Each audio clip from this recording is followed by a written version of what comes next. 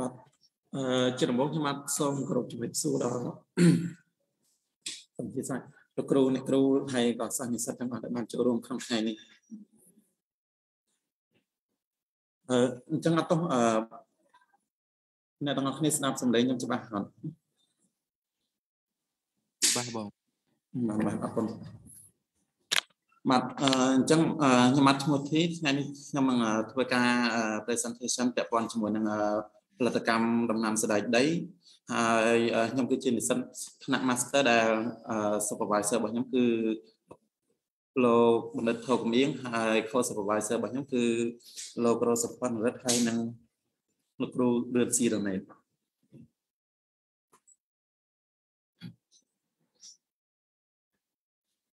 បាទអឺទាំងនេះគឺជាមេត្តាដែលខ្ញុំនឹង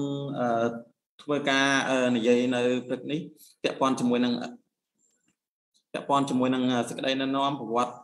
នៃការដាំដុះស្ដេចដី ហើយពាក់ព័ន្ធជាមួយនឹងអឺផលិតកម្មដំណាំស្ដេចដីទូទាំងពិភពលោកហើយពាក់ព័ន្ធជាមួយនឹងអឺពេលវេលាក្នុងការដាំដុះនៅក្នុងប្រទេសកម្ពុជាឬក៏នឹង ដំណាំបង្វិលក៏ដូចជាតម្រូវការដីឬក៏សំណើមឬក៏ពាក់ព័ន្ធជាមួយនឹង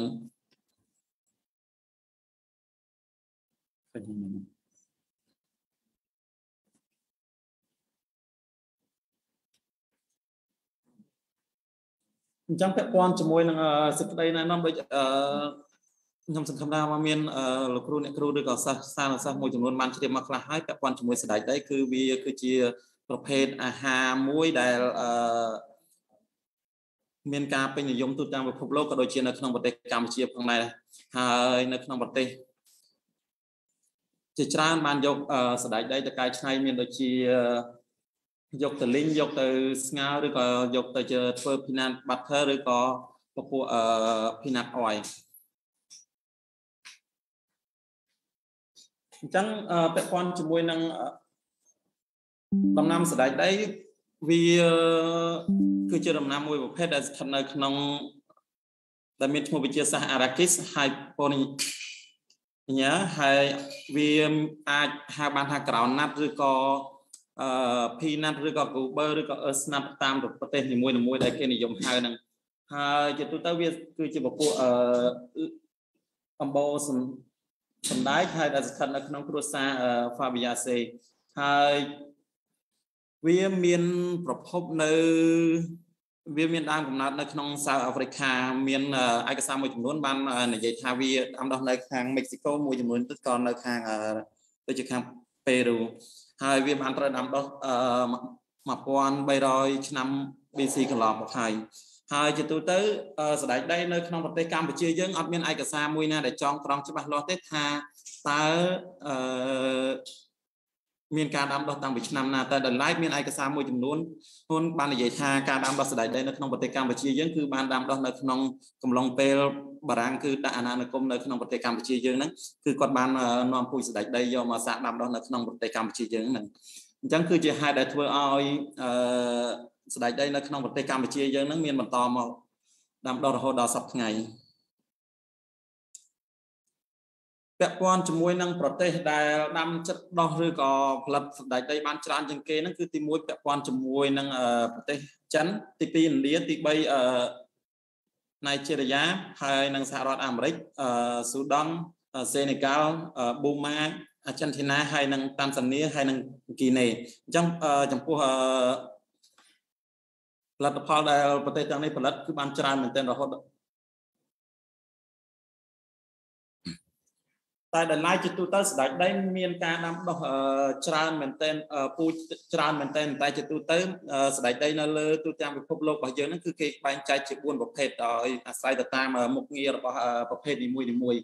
ដល់ឡែកពាក់ព័ន្ធជាមួយនឹងខាង runner ហ្នឹងគឺជាប្រភេទស្ដេចដីដែលជាទូទៅដើមស្ដេចដីប្រភេទ runner ហ្នឹងវារៀងវាដើមវាអត់សូវខ្ពស់ប៉ុន្មានទេហើយជាទូទៅគឺគេប្រើវាសម្រាប់ ការកែច្នៃធ្វើជា peanut butter ដែលអាចលាបជាមួយនឹងនំប៉័ងឬអីជាដើមហ្នឹងមួយទៀតពាក់ព័ន្ធជាមួយនឹងខាង Spanish ស្ប៉ានីសហ្នឹងគឺជាទូទៅប្រភេទដើមសណ្តែកដីហ្នឹងគឺអត់សូវជាខ្ពស់ប៉ុន្មានទេហើយក៏សម្បូរដាំដុះនៅក្នុងប្រទេសកម្ពុជាយើងដែរហើយជាទូទៅគឺគេអាចយកវាទៅធ្វើជានំឬក៏អាចលីងជាមួយនឹងអំបិលឬក៏អាចស្ងោងោឬក៏អាចធ្វើជាអាហារសម្រន់ផ្សេងផ្សេងហ្នឹង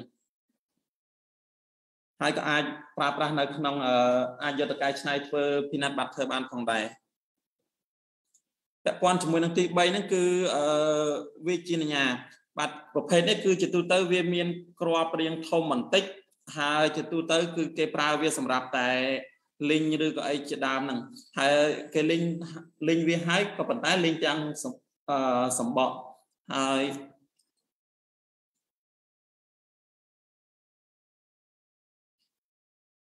មួយចុងក្រោយនោះគឺពពួក Valencia Valencia ហ្នឹងគឺជាទូទៅវាមាន3គ្រាប់ហើយក្នុងមួយជាទូទៅគឺវាមានរសជាតិរៀងផ្អែមជាងប្រភេទ3ពូ3ប្រភេទខាងលើហើយវាអាចធ្វើជាពពួក peanut butter បានផងដែរ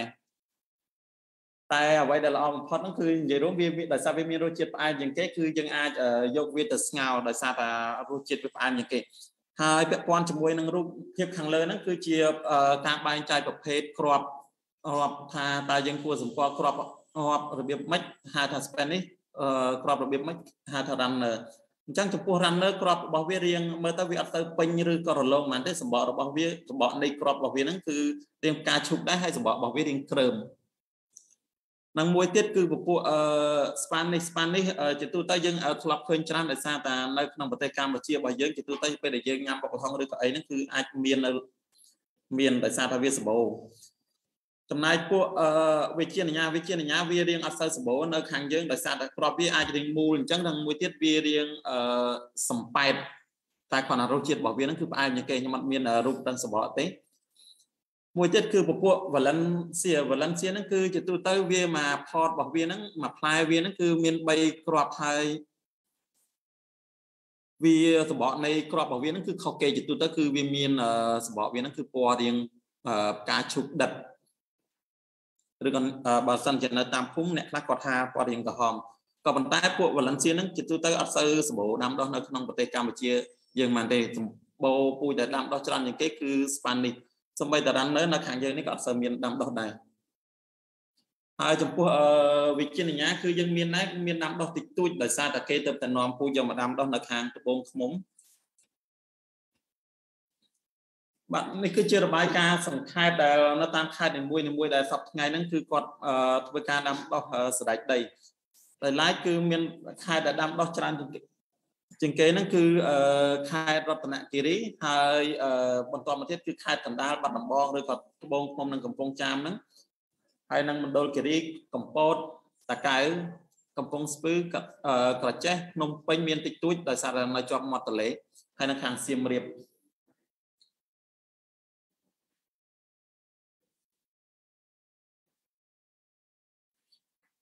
ជាទូទៅនៅក្នុងប្រទេសកម្ពុជាយើងការដាំដុះសណ្តែកដីគឺគេដាំដុះ3ដងនៅក្នុងមួយឆ្នាំក៏ប៉ុន្តែជាទូទៅ2ដងគឺគេដាំនៅតំបន់ដីតំបន់ខ្ពង់រាបដោយសារថានៅក្នុងប្រទេសកម្ពុជាយើងហ្នឹងគឺមានភ្លៀងធ្លាក់ធ្លាក់គ្រប់គ្រាន់ហើយជាទូទៅគឺគេចាប់ដើមដាំនឹងការជួររស់ដីហ្នឹងគឺកំឡុងខែខែមេសាហាឬក៏ ខែឧសភាអាស្រ័យទៅតាមភ្លៀងអញ្ចឹងជាទូទៅគេប្រមូលផលអាចចុងខែ7ឬក៏ដើមខែ8បើសិនជាក្នុងករណីដែលថាគាត់រៀបចំដីរៀងយឺតឬក៏អីអញ្ចឹងហើយលើកទី2គឺគាត់ចាប់ដើមដាំនៅខែដើមខែ8ហ្នឹងគឺគាត់អាចប្រមូលផលនៅខែ10ឬក៏11 ហើយនឹងលើកទី3នេះជាទូទៅគឺគាត់ដាំបាននៅតាមតំបន់មាត់ទន្លេដោយសារតែជាទូទៅនៅខាងតំបន់ពងរៀបគឺគាត់ខ្វះខាតទឹកក្នុងការស្រោចស្រពដល់ពេលអញ្ចឹងគាត់អត់អាចធ្វើការដាំដុះនៅរដូវប្រាំងបានទេហើយចំពោះនៅមាត់ទន្លេដោយសារតែមានសំណើមគ្រប់គ្រាន់អញ្ចឹងស្ដេចដីគាត់អត់ត្រូវការស្រោចស្រពទេដូចជាក់ស្ដែងនៅខាងម្ដុំទន្លេបិទឬក៏និយាយរួមឲ្យខេត្តដែលនៅជាប់ទន្លេភាគច្រើនគឺគាត់តែងតែនិយមដាំនៅរដូវប្រាំងបន្ទាប់ពីទឹកសម្រក់ហើយ ហើយទៅទៅគឺគាត់ដាំនៅកំឡុងខែ11ឬក៏ដើមខែ12ក៏ប៉ុន្តែបើសិនជាយើងដាំយឺតជាងហ្នឹងពេកគឺធ្វើឲ្យស្ដេចដីហ្នឹងអត់ដាក់មើម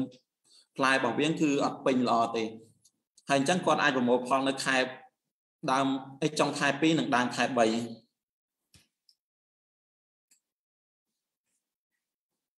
ជាទូទៅអឺសដែកដីគឺ ធ្វើត្បិតតាវាគឺជាដំណាំដំណាំមួយប្រភេទដែលវាអាចអឺមានបាក់តេរីរីសូវីយ៉ុមដែលអាចស្រូបអាសូតពីបរិយាកាសបានមែនក៏ប៉ុន្តែវាមានជំងឺជាច្រើនដែលអាចបំផ្លាញទៅដល់ដំណាំសណ្តែកដីអញ្ចឹងយើងគួរតែកុំព្យាយាមដាំសណ្តែកដីពីមួយឆ្នាំទៅមួយឆ្នាំជាប់គ្នាអញ្ចឹងយើងគួរតែប្រើនៅពពួកដំណាំឆ្លាស់ដូចជាមានដូចជាពពួកពោតឬក៏ពពួក សូកូមឬក៏មីលេតជាដើមហ្នឹងក៏ប៉ុន្តែជាទូទៅអឺដំណាំសណ្តែកដីគឺគេអត់អឺណែនាំឲ្យដាំបន្ទាប់ពីពពួកអឺសយបៀនឬក៏ពពួកកបាស់ទេដោយសារតែវាគឺស្ថិតនៅអំបូរមួយគ្នាហើយជំងឺមួយចំនួនគឺវាអាចកើតឡើងទៅលើដំណាំហ្នឹងផងដែរហើយជាពិសេសពពួកដំណាំថ្នាំជក់ក៏ដូចគ្នាដែរគឺវាមានជំងឺដែលអាចវាកើតបង្កទៅដល់ពួកដំណាំសណ្តែកដីដូចគ្នា ក៏ប៉ុន្តែដែលឡែកបើសិនជាក្នុងករណីដែលយើងដាំអាមពោតឬក៏ដាំពពួកសូហ្គមឬក៏មីលេតអីនៅពេលដែលយើងដាំសណ្តែកដីម្ដងទៀតគឺធ្វើឲ្យទិន្នផលសណ្តែកដីហ្នឹងអាចកើនឡើងពីឆ្នាំចាស់ហ្នឹងបើតាមឯកសារគេគេថាអាចកើនឡើងដល់20%បាទនេះគឺរូបខាងក្រោមនេះគឺជាពពួក millet ឬក៏ពពួក sorghum ឬក៏ពពួក small grain ដោយសារតែជាទូទៅខ្ញុំឃើញនៅខាងពពួកនេះគឺអាចនៅខាងប្រទេសកម្ពុជាយើងគឺមានដាំដុះខ្លះដែរក៏មានគ្រាប់ពូជពូជលក់ខ្លះដែរក៏ប៉ុន្តែខ្ញុំសូមនិយាយត្រង់នេះបន្តិចដោយសារតែពេលខ្លះទៅអឺនៅតាមអ្វីដែលយើងបានរៀនគឺគេតម្រូវឲ្យដាំដំណាំឆ្លាស់ឬក៏ដំណាំអីអញ្ចឹងក៏ប៉ុន្តែដល់ពេលជាក់ស្ដែងហើយពាក់ព័ន្ធជាមួយនឹងខាងកសិករជាទូទៅគាត់អត់សូវគិតទៅលើរឿងហ្នឹងហ្មងទេដោយសារតែ គាត់គិតថាធ្វើម៉េចគាត់ព្យាយាមផលិតដំណាំសណ្តែកដីដោយសារពេលខ្លះទៅដោយការទីផ្សារផងហើយដីរបស់គាត់អត់សមស្របជាមួយនឹងនឹងពពួក millet ឬក៏ sorghum អីទេពេលខ្លះវាអត់មានទីផ្សារសម្រាប់ពួកគាត់អញ្ចឹងពេលខ្លះគឺគាត់ត្រូវបង្ខំចិត្តយ៉ាងដឹងដឹងថាដាំសណ្តែកដីឆ្នាំជាប់ជាប់ជាប់គ្នាធ្វើឲ្យមានជំងឺទៅដោយ ជាទូទៅដំណាំស្ដែកដីគឺជាដំណាំមួយប្រភេទដែលអត់ទៅចូលចិត្តដីប្រភេទអត់ខ្លាំងទេដោយសារតែយើងទាំងអស់គ្នាដឹងហើយគឺផ្លែរបស់វាគឺអត់ដូចដំណាំដតីទេដំណាំដតីផ្លែរបស់វាគឺស្ថិតនៅខាងលើដីក៏ប៉ុន្តែដំណាំសណ្ដែកដីគឺស្ថិតនៅក្នុងក្នុងដីអញ្ចឹងបើសិនជាបើសិនជាដីនឹងមានលបាយឥតខ្លាំងពេកធ្វើឲ្យអឺ គេហៅថាក្បាលលេកូឬក៏ pitch របស់វាហ្នឹងគឺវាអត់អាចចាក់ចូលទៅក្នុងដីបានទេហើយបើសិនជាក្នុងករណីថាវាចាក់ចូលបាននៅពេលដែលយើងប្រមូលផលដីរបស់យើងហ្នឹងគឺវាមានលបាយឥតខ្លាំងដល់ពេលអញ្ចឹងវារឹងខ្លាំងពេកធ្វើឲ្យពេលដែលយើងដកមកហ្នឹងក៏ដាច់ផ្លែដែរអញ្ចឹងធ្វើឲ្យយើងបាត់បង់ទិន្នផលមួយទៀតពាក់ព័ន្ធជាមួយនឹងសំណើមអឺសំណើមគឺវាសំខាន់មែនទែននៅពេលដំណាក់កាលក្នុងការដាំដុះដោយសារតែធម្មតាដំណាំតើយើងដាំថែដុះគឺយើងក៏ពិបាកអត់ធ្វើបានផលដែរ អញ្ចឹងពាក់ព័ន្ធជាមួយនឹងសំណាងគឺជាទូទៅអឺបើសិនជាសំណើមរបស់ដីហ្នឹងនៅពេលដែលកំឡុងពេលដាំដុះនៅពេលដែលសំណើមដីហ្នឹងតិចជាង13អង្សាធ្វើឲ្យដំណាំសណ្តែកដីរបស់យើងហ្នឹងគឺដុះអត់ទៅល្អទេក៏ប៉ុន្តែប្រសិនជាសតនអាហារភាពនៅក្នុងដីហ្នឹងពី20ទៅដល់30ធ្វើឲ្យអឺដំណាំរបស់យើងហ្នឹងគឺអាចដុះលូតលាស់ល្អរហូតដល់95% ហើយជាទូទៅគឺគេអត់អត់តម្រូវឲ្យដាំនៅដីនៅដីត្រជាក់ទេគឺគេតម្រូវឲ្យដាំនៅដីក្តៅព្រោះថាបើសិនជាដីត្រជាក់ធ្វើឲ្យវានឹងអត់ជួយទៅដល់អឺដំណោះទេអញ្ចឹងនៅពេលដែលដាំហើយនៅពេលដែលដាំក្តីដាំនៅដីក្តៅហើយគឺគេតម្រូវអត់ឲ្យស្រោចទឹកត្រជាក់ទេបើសិនជាស្រោចទឹកត្រជាក់ធ្វើឲ្យវានឹងកាត់បន្ថយនៅការរីកគ្រាប់ឬក៏ជើងអឺដំណោះគ្រាប់ដូចគ្នា ជាទូទៅដំណាំស្ដេចដី គឺជាដំណាំមួយប្រភេទដែលវាត្រូវការពពួកអឺសារធាតុចិញ្ចឹមអឹមច្រើនគួរសមណាស់ដោយសារតែវាអឺជាដំណាំមួយដែលជាប្រភេទដំណាំយំមើលហើយចំពោះ pH អឺដែលសមស្របសម្រាប់ដំណាំស្ដេចដីគឺអាចចន្លោះពី3ហើយ5តាមឬក៏អាចខ្ពស់ជាងហ្នឹងក៏ប៉ុន្តែដែលសមស្របដែល ដែលល្អបំផុតហ្នឹងគឺគឺអាចពី6ទៅ6.5អញ្ចឹងគឺជាប្រភេទ pH ដែលល្អបំផុតសម្រាប់ដំណាំសណ្ដែកដីហើយបើសិនជាអឺដំណាំនៅតំបន់ដីដែលយើងដាំដុះហ្នឹងវាខ្វះខាតដូចពួកកាល់ស្យូមអីវាធ្វើឲ្យការវិវត្តនៃក្របហ្នឹងគឺវាអាចក្របរបស់វាអត់ពេញល្អធ្វើឲ្យវាហ្នឹងអាចមើលទៅស្ពាតឬក៏មានតែមានតែសបកតែផ្លែនៅខាងក្នុងវាហ្នឹងគឺអត់ពេញទេ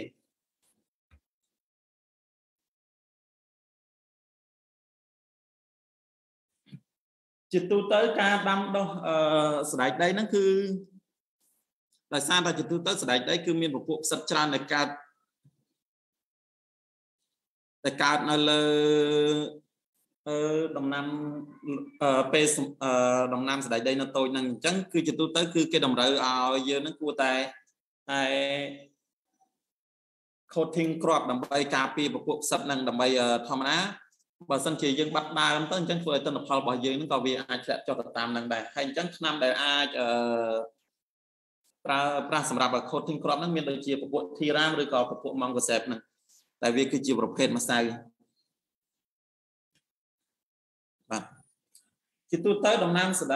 ពាក់ព័ន្ធជាមួយនឹងការរៀបចំដីគឺជាទូទៅដំណាំសដដីវាអត់ទៅខុសជាមួយនឹងដំណាំពោតឬក៏ដំណាំអីផ្សេងទៀតប៉ុន្មានទេដោយសារតែតម្រូវឲ្យភ្ជួរដីឲ្យបានម៉ត់ល្អ2ទៅ3ដងដូចគ្នាហើយធ្វើម៉េចពាក់ព័ន្ធជាមួយនឹងស្មៅចង្រៃឬក៏អីហ្នឹងគឺយើងត្រូវសម្អាតឲ្យស្អាតអាចដើម្បីអឺកុំឲ្យវាដុះប្រជែងជាមួយនឹងដំណាំរបស់យើងហើយពាក់ជាទូទៅអឺពាក់ព័ន្ធជាមួយនឹងអឺ ចន្លោះជួរនិងចន្លោះគុំរបស់ដំណាំសណ្តែកដីជាទូទៅការដាំដុះសណ្តែកដីយើងនៅខាងអឺតំបន់ខ្ពង់រាបជាទូទៅដូចជានៅខាងត្បូងឃុំអីជាទូទៅគឺគេប្រើត្រាក់ទ័រគេប្រើប្រដាប់ដាំហ្នឹងគឺភ្ជាប់ជាមួយត្រាក់ទ័រហើយបន្តមកទៀតគ្រាប់របស់គេហ្នឹងគឺវាហូរទៅតាមកន្លែងតយោដែលគេដាក់ចុះនៅខាងក្រោមនេះអញ្ចឹងទាំងជីទាំងអីគឺហូរចូលជាមួយគ្នានឹងនៅខាងត្បូងឃុំ ហើយចំពោះចន្លោះជួរនិងចន្លោះគុំដែលប្រជាកសិករយើងនិយមដាំសពថ្ងៃហ្នឹងគឺចន្លោះជួរគឺ45ទៅ50សង់ទីម៉ែត្រហើយពាក់ព័ន្ធជាមួយនឹងចន្លោះគុំហ្នឹងអាច10ឬក៏អាចលើសនឹងតិចតួចអាចទៅ10 10ទៅ12អីហ្នឹងហើយជាទូទៅគឺគាត់ដាំមួយគុំគឺមាន3ទៅ5គ្រាប់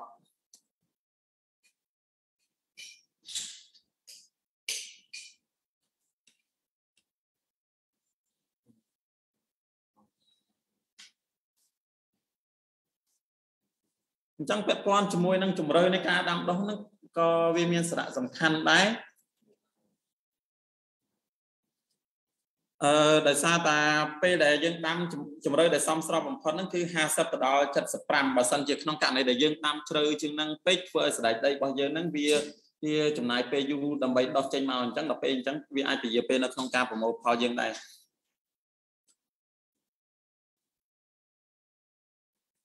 ជាទូទៅស្ដេចដីដោយសារតែវា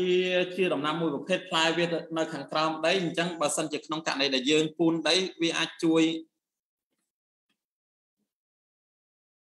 អត់មានបងវាអាចជួយបង្កើនទិន្នផលដែរក៏ប៉ុន្តែបើសិនជាយើងធ្វើ production លក្ខណៈធំការពូនកុលហ្នឹងគឺពេលខ្លះទៅវាអត់សមស្របដោយសារដោយសារយើងត្រូវចំណាយកម្លាំងពលកម្មច្រើនពេលខ្លះទៅនៅតំបន់គាត់ហ្នឹងគឺរក ម្លាំងពលកម្មមកពូនកឬក៏ឈោកស្មៅនឹងអត់សូវបានអញ្ចឹងពេលខ្លះនៅតាមតាមចការធំធំភាគច្រើនគឺគាត់អត់សូវពូនកលមកនេះគាត់គ្រាន់តែឈោកស្មៅធម្មតាក៏ប៉ុន្តែបើសិនជាយើងធ្វើលក្ខណៈគ្រួសារអាចពូនកលបានដោយសារកាលណាពូនកលធ្វើឲ្យផ្លែនៅតាមឆ្នាំងរបស់វានឹងអាចជួយចាក់បានច្រើន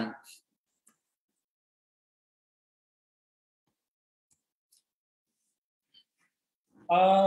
ពាក់ព័ន្ធជាមួយនឹងការប្រមូលផលជាទូទៅស្ដេចដីការប្រមូលផលគឺបើយើងកសិករគឺគាត់តែងតែនិយមអឺទី1គឺគាត់មើលទៅលើ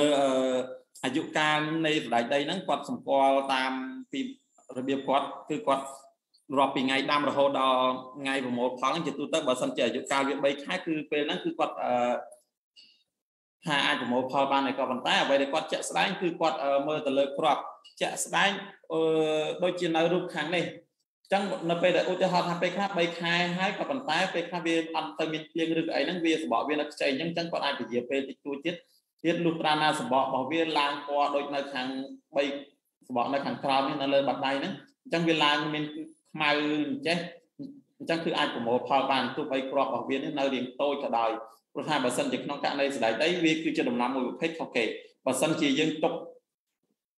វាទៀតអញ្ចឹងនៅពេលដែលវាមានសំណើមគ្រប់គ្រាន់អញ្ចឹងវាដុះចេញពីទាំងក្នុងផ្លែអីហ្នឹងចេញឡើងមកលើអញ្ចឹងដល់ពេលអញ្ចឹងធ្វើឲ្យបាត់បង់ទិន្នផលរបស់យើងហើយនេះបើសិនជារូបភាពខាងនេះគឺនៅពេលដែលគាត់បកឃើញសបកខ្មៅអញ្ចឹងអញ្ចឹងបានន័យថាគាត់អត់អាចទុកយូរទៀតទេអញ្ចឹងគាត់ត្រូវធ្វើម៉េចបញ្ញត្តិប្រមូលផលឲ្យលឿនដើម្បីកុំឲ្យមានភ្លៀងធ្លាក់មកវាអាចបោះឬក៏អីហ្នឹង ហើយជាទូទៅទំនៀមទម្លាប់របស់កសិករយើងគាត់ដាំដោះអីនៅពេលដែលគាត់ប្រមូលផលហើយគឺគាត់ដកសម្ងួតចោលនៅកដាលចកាហ្នឹងទោះបីមានភ្លៀងអីក៏ដោយគឺគាត់សម្ងួតដាក់ហាលចោល2ទៅ3ថ្ងៃហើយបានគាត់រកគេមកវៃខ្ញុំអត់មានរូបភាពដែលគេពេលគាត់ជួលគេមកវៃអញ្ចឹងគេមានមុងមានអីមួយអញ្ចឹងទៅបន្តមកទៀតគេដាក់ឈើដាក់អីហើយបន្តមកទៀតគេវៃទៅគេយកទៅក្របដល់គេយកក្របបានហើយបន្តមកទៀតបានគេយកទៅហាល ហើយពាក់ព័ន្ធជាមួយនឹងការហាលនេះដែរជាទូទៅអាច2ទៅ3ថ្ងៃអាស្រ័យទៅតាមពន្លឺថ្ងៃប្រសិនគេមានលក្ខណៈសម្គាល់ដូចគ្នាដែរពាក់ព័ន្ធជាមួយនឹងសដែកដីគឺប្រសិនបើក្នុងករណីដែលគេច្បាច់ក្របទៅអាសបកនៃនៃផ្លែនៃសាច់នេះបើសិនជាក្នុងករណីច្បាច់ទៅ គាត់ឆ្លីទៅវាចេញអញ្ចឹងបានគេព្យាយាមគេអាចហាលថែមមួយថ្ងៃឬក៏ពីរថ្ងៃទៀតលុះត្រាណាតាសបកនេះគេឆ្លីទៅចេញបានដូចពេលយើងលីងហើយយើងយកឆ្លីអញ្ចឹងអញ្ចឹងបានគេអាចយកវាទៅទុកបានបើសិនជាក្នុងករណីដែលឆ្លីអត់ចេញទេពេលដែលយើងយកទុកធ្វើឲ្យក្របរបស់យើងនឹងដុកសិតហើយជាទូទៅគឺគេអត់គេតម្រូវដាក់នៅក្នុងអឺបាវណាដែលអាចមានខ្យល់ចេញចូលបានដើម្បីឲ្យវាខ្យល់អាចបក់ចូលទៅក្នុងនឹងបាន ពាក់ព័ន្ធជាមួយនឹងទិន្នផលជាទូទៅស្ដេចដីនៅក្នុងអឺជាទូទៅបើសិនជាប្រទេសគេអភិវឌ្ឍលឿនដោយសារតែគេមានការបង្កាត់ពូជអីច្បាស់លាស់ដូចជានៅខាងអាមេរិកអីអញ្ចឹងនៅក្នុងឆ្នាំ2017ហ្នឹងគឺខាងគេបានរាយការណ៍ថានៅក្នុងមហត្តាគឺគេបានរហូតដល់4តោនតោនជាងក៏ប៉ុន្តែបើសិនជាយើងប្រៀបធៀបមកខាងប្រទេសកម្ពុជារបស់យើងវិញដោយសារតែជាទូទៅគឺគាត់ប្រើពូជតែមួយឬក៏ពីរពូជអត់ទៅសម្បូរ ពូជប្រហែលទេហើយពាក់ព័ន្ធជាមួយនឹងពូជរបស់យើងដឹងស្រាប់ហើយគឺអត់សូវមានទេហើយការនាំចូលក៏រៀងពេលខ្លះទៅយកមកដាំដុះនៅក្នុងប្រទេសកម្ពុជាយើងក៏អត់ទៅស្របសមស្របប្រហែលដែរអញ្ចឹងពាក់ព័ន្ធជាមួយនឹងទិន្នផលរបស់យើងយោងតាមអាយុ SDA ហ្នឹងដែលគាត់ប៉ាន់ស្មានថាជាទូទៅមហត្តាបានថាទិន្នផលមួយតោនជាងអីតិចតួចទេបានតិចមែនតើក៏ប៉ុន្តែជាក់ស្ដែងនៅតាម field នៅតាមត្បូងឃ្មុំឬអីដែលកសិករដែលគាត់ដាំ សប្ថ្ងៃហ្នឹងគឺមហត្តាគាត់ដាក់ពេលខ្លះទៅបើសិនជាល្អគាត់មើលថែល្អដោះអត់បាត់រំដៅអីទេអាចការដោះរហូតដល់2តោនកន្លៃដែរវាច្រើនគួរសមដែរឬក៏2តោនអញ្ចឹងអឺពាក់ព័ន្ធជាមួយនឹងក្រាបនៅខាងក្រោមនេះគឺជាទិន្នផល10ឆ្នាំចុងក្រោយដែលការដាំដុះស្ដេចដីនៅក្នុងប្រទេសកម្ពុជារបស់យើងអញ្ចឹងចំពោះ2008នេះគឺរៀងអឺច្រើនគួរសមដែរក៏ប៉ុន្តែនៅ2009គឺរៀងធ្លាក់ចុះមកវិញ ហើយដល់ពេលឡើងដល់ឆ្នាំ2010គឺដាំដុះរៀងច្រើនមកវិញហើយដល់ពេលមើលចាក់ស្ដែងទៅអឺបើសិនយើងប្រៀបធៀប3ឆ្នាំចុងក្រោយនេះគឺ2017រៀងច្រើនហើយដល់ពេល2018រៀងធ្លាក់2019ក៏ធ្លាក់ដែរហើយឥឡូវខ្ញុំគិតថាក៏វាអាចរៀងធ្លាក់ដែរដោយសារតែឥឡូវគឺកសិករគាត់ដូរមកដាំដូចជានៅខាងត្បូងឃ្មុំឯងខ្ញុំឃើញសង្កេតឃើញគាត់ដាំជាដលងឬក៏ពពួកលងឬក៏សដែកសៀងមកវិញឥឡូវ បានជាចុងក្រោយសូមអរគុណសម្រាប់ការស្ដាប់ទាំងអស់គ្នាបើសិនជាលោកគ្រូអ្នកគ្រូឬក៏បងបងណាមានសំណួរអីអាចសាកសួរខ្ញុំបានបើសិនជាខ្ញុំអឺដឹងខ្ញុំនឹងឆ្លើយជូន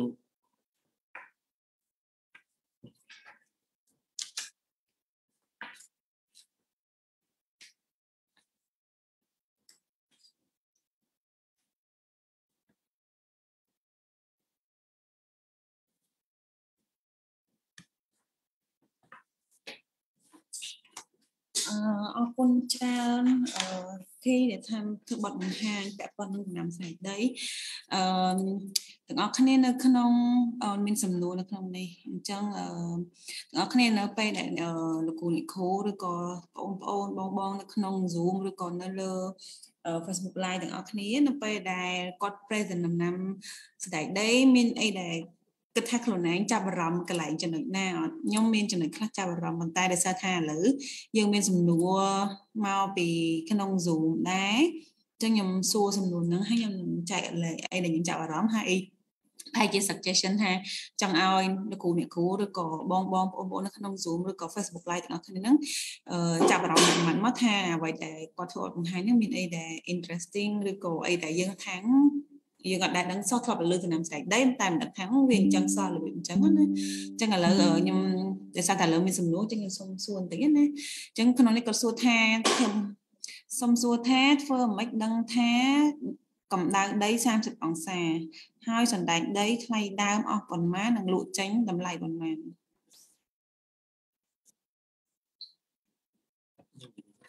អឺ ពាក់ព័ន្ធជាមួយអឺពាក់ព័ន្ធជាមួយនឹងកម្ដៅដីហ្នឹងជាទូទៅអឺដោយសារតែពេលខ្លះទៅយើងអត់មានបើសិនជាយើងមានឧបករណ៍វាស់អញ្ចឹងគឺយើងដឹងថាសីតុណ្ហភាពរបស់ដីហ្នឹងមិនច្បាស់លាស់ក៏ប៉ុន្តែជាទូទៅបើសិនជាបើសិនជាយើងចង់បានកម្ដៅប៉ុណ្ណឹងបរិយលោកគ្រាន់តែយើងមានឧបករណ៍វាស់អីច្បាស់លាស់បានយើងអាចដឹងបានថាហ្នឹងវា30ឬក៏20អញ្ចឹងហើយពាក់ព័ន្ធជាមួយនឹងអឺ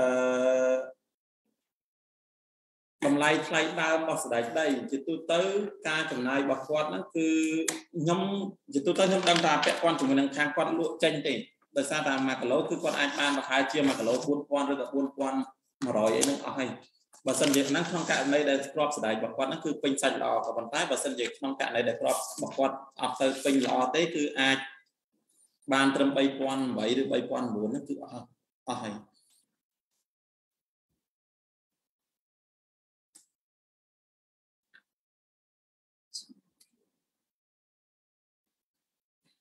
អឺ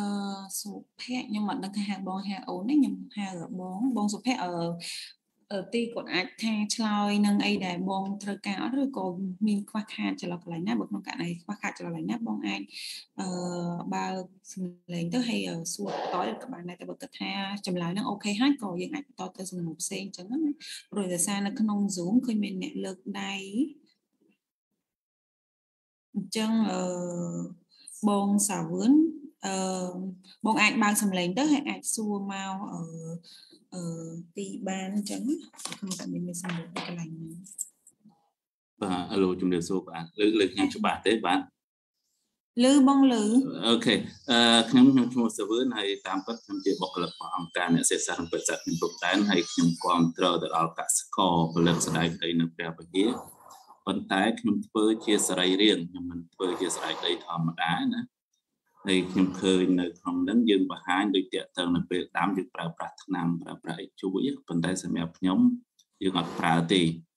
ប៉ុន្តែដោយសារខ្ញុំចាប់អារម្មណ៍ទី1សូមឲ្យខាងអ្នកស្រាវជ្រាវដោយសារគាត់ធ្វើការស្រាវជ្រាវថាតើមានវិធីអីដែលយើងអាចដោះស្រាយបានតាក់ទងនៅពេលដាំហ្នឹងយើងកុំប្រើប្រាស់ថ្នាំដែលយើងអាចជួយក្នុងការដែលដាំហ្នឹងជាលក្ខណៈរក្សានៅទីសរីរាង្គបានអាហ្នឹងទី1 ហើយទី2ដែលពួកខ្ញុំកំពុងតែធ្វើគឺជួបបញ្ហាប្រឈមបំផុតហ្នឹងគឺពាក់ព័ន្ធមួយគេហៅថាជំងឺផ្សិតពពួកអាផ្លាតុកស៊ីនដែលយើងជួបបញ្ហាហ្នឹងគឺនៅពេលដែលយើងប្រមូលផលមកគឺភាគច្រើនគឺយើងជួបបញ្ហាអាផ្លាតុកស៊ីនហើយតាមអ្វីដែលពួកខ្ញុំយកមកពិសោធន៍គឺយើងមានបញ្ហាអាផ្លាតុកស៊ីនកើតឡើងពីរករណីករណីទី1គឺអាផ្លាតុកស៊ីនហ្នឹងគឺមានស្រាប់នៅក្នុងដីនឹងតែម្ដង ហើយករណីទី2គឺតកតងទៅលើបច្ចេកទេសនៃការប្រមូលផលរបស់គាត់នៅពេលដែលយើងប្រមូលផលទី1ការប្រមូលផលរបស់គាត់យឺតនៅក្នុងរដូវភ្លៀងហ្នឹងគឺធ្វើឲ្យស្ដែកដីដែលដកមកគឺវាមានអាប្លាតុកស៊ីនស្រាប់ហើយមួយទៀតគឺនៅពេលដែលយើងហាលអត់បានគ្រប់គ្រាន់ដោយសារដូចជាឃើញបង្ហាញមិញគឺដែលយើងប្រមូលផលនៅខែ9ខែ10គឺក្នុងរដូវភ្លៀងអញ្ចឹងយើងជួបបញ្ហានៅក្នុងនោះ តែដោយសារគាត់ជាអ្នកស្រាវជ្រាវថាតើគាត់អាចមានវិធីសាស្ត្រអីអាចជួយផ្ដល់ជាយោបល់ទី1បាទនឹងអរគុណច្រើនសូមតែ2នឹងសិនបាទអរគុណចាអរគុណច្រើនបងសម្រាប់សំណួរទីអឺបាទអរគុណច្រើនបងសម្រាប់សំណួរអឺ សំណួរមួយចំនួនខ្ញុំក៏ចង់និយាយថាខ្ញុំអាចឆ្លើយជូនបងបានតែសំណួរមួយចំនួននេះក៏ខ្ញុំអាចសូមធ្វើការសិក្សាបន្តសិនដែរតែពាក់ព័ន្ធជាមួយនឹងខ្ញុំមុនហ្នឹងខ្ញុំបានបង្ហាញពាក់ព័ន្ធជាមួយការប្រើប្រាស់ថ្នាំដើម្បី coating គ្រាប់ហ្នឹងបើសិនជាក្នុងករណីដែលថាគាត់ដាំទៅមានបញ្ហាផ្សិតច្រើនគឺគាត់ប្រើប្រាស់ថ្នាំដើម្បី coating គ្រាប់ហ្នឹងមែនក៏ប៉ុន្តែបើសិនជាក្នុងករណីដែលថា ថាអត់ចង់ប្រើហ្នឹងគឺខ្ញុំគិតថានេះគ្រាន់តែជាគំនិតរបស់ខ្ញុំទេខ្ញុំគិតថាមានការសិក្សាទៅលើរកមើលពូជណាដែលវាធន់ទ្រាំជាមួយនឹងពពួកសិតដែលបំផ្លាញនៅរយៈពេលនៅពេលដែលវាដុះដំបងឬក៏ពេលដែលយើងដាំដំបងហ្នឹងហើយពាក់ព័ន្ធជាមួយនឹងខាងអាផ្លាតុកស៊ីនហ្នឹងខាងហ្នឹងគឺតាមពិតខាងគម្រោងរបស់អឺលោកគ្រូធរកមានហ្នឹងគឺគាត់បានសិក្សាទៅលើចំណុចហ្នឹងដែរដោយសារឥឡូវគឺ ពួកខ្ញុំសាកមើលពូជសិនអញ្ចឹងណាបងហើយដល់ពេលអញ្ចឹងគឺចាំយកវាទៅសិក្សាទៅលើរសជាតិឬក៏មើលទៅលើអាផ្លាតុកស៊ីនហ្នឹងផងដែរហើយពាក់ព័ន្ធជាមួយនឹងការប្រមូលផលជាទូទៅអឺ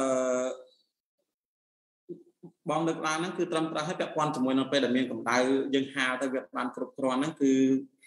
វាអាចធ្វើឲ្យមានពពួកអាប៉ាតុកស៊ីនហ្នឹងអញ្ចឹងពេលវេលាដែលដាំដោះសំស្របសម្រាប់គាត់មានតែធ្វើមិនលេធ្វើមិនឲ្យចំនៅកូនរដូវប្រាំងហ្នឹងទេដោយសារតែពេលហ្នឹងគឺវាអាចមានពលិអីគ្រប់គ្រាន់គ្រាន់សម្រាប់ហាលឬអីហ្នឹងឬក៏មួយទៀតគាត់អាចកែច្នៃជាពពួកប្រភេទភេទសម្ងួតដោយម៉ាស៊ីនឬក៏ឡអីជាដើម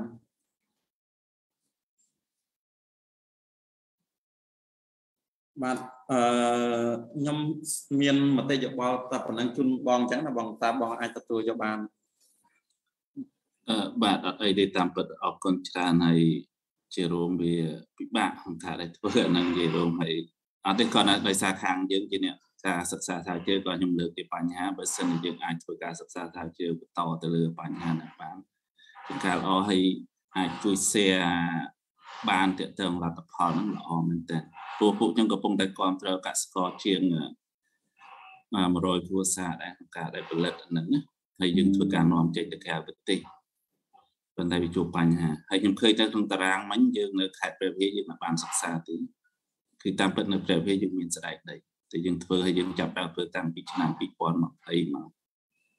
បាទអរគុណអត់អីទេបាទអរគុណបាទអរគុណច្រើនបង ច្រើនបងស្រាវជំនួរហើយក៏វាជាអីដែលគួរចាប់អារម្មណ៍ថាបើសិនក្នុងករណីមានការស្រាវជ្រាវក្រោយឬក៏មានបងបងឬក៏បងបងនិស្សិតក្រោយដែលចង់ធ្វើការសិក្សាពាក់ព័ន្ធនឹងស្រីដីយើងអាចយកអីដែលបង Rex ដែលមិនបានសិក្សាហ្នឹងយកទៅសិក្សាបន្តឬក៏ជា research topic ក្នុងការសរសេរសារណាបទឬក៏សរសេរថ្នាក់បណ្ឌិតអីបន្តអញ្ចឹងណាបងអរគុណច្រើនបងសម្រាប់ការចូលរួមនិងការចាប់អារម្មណ៍ហ្នឹងបង អញ្ចឹងអឺលោកគ្រូអ្នកគ្រូបងបងអូនអូននៅក្នុង Zoom ឬក៏នៅក្នុង Facebook Live អាចមានសំណួរអីយើងអាចក្របជាសំណួរឬក៏អាចជាការលើកដៃឬអាចសួរផ្ទាល់មកខាងទីក៏បានឬក៏ឲ្យពួកខ្ញុំជាអ្នកអានសំណួរនៅក្នុង chat box ឲ្យក៏បានអញ្ចឹងណា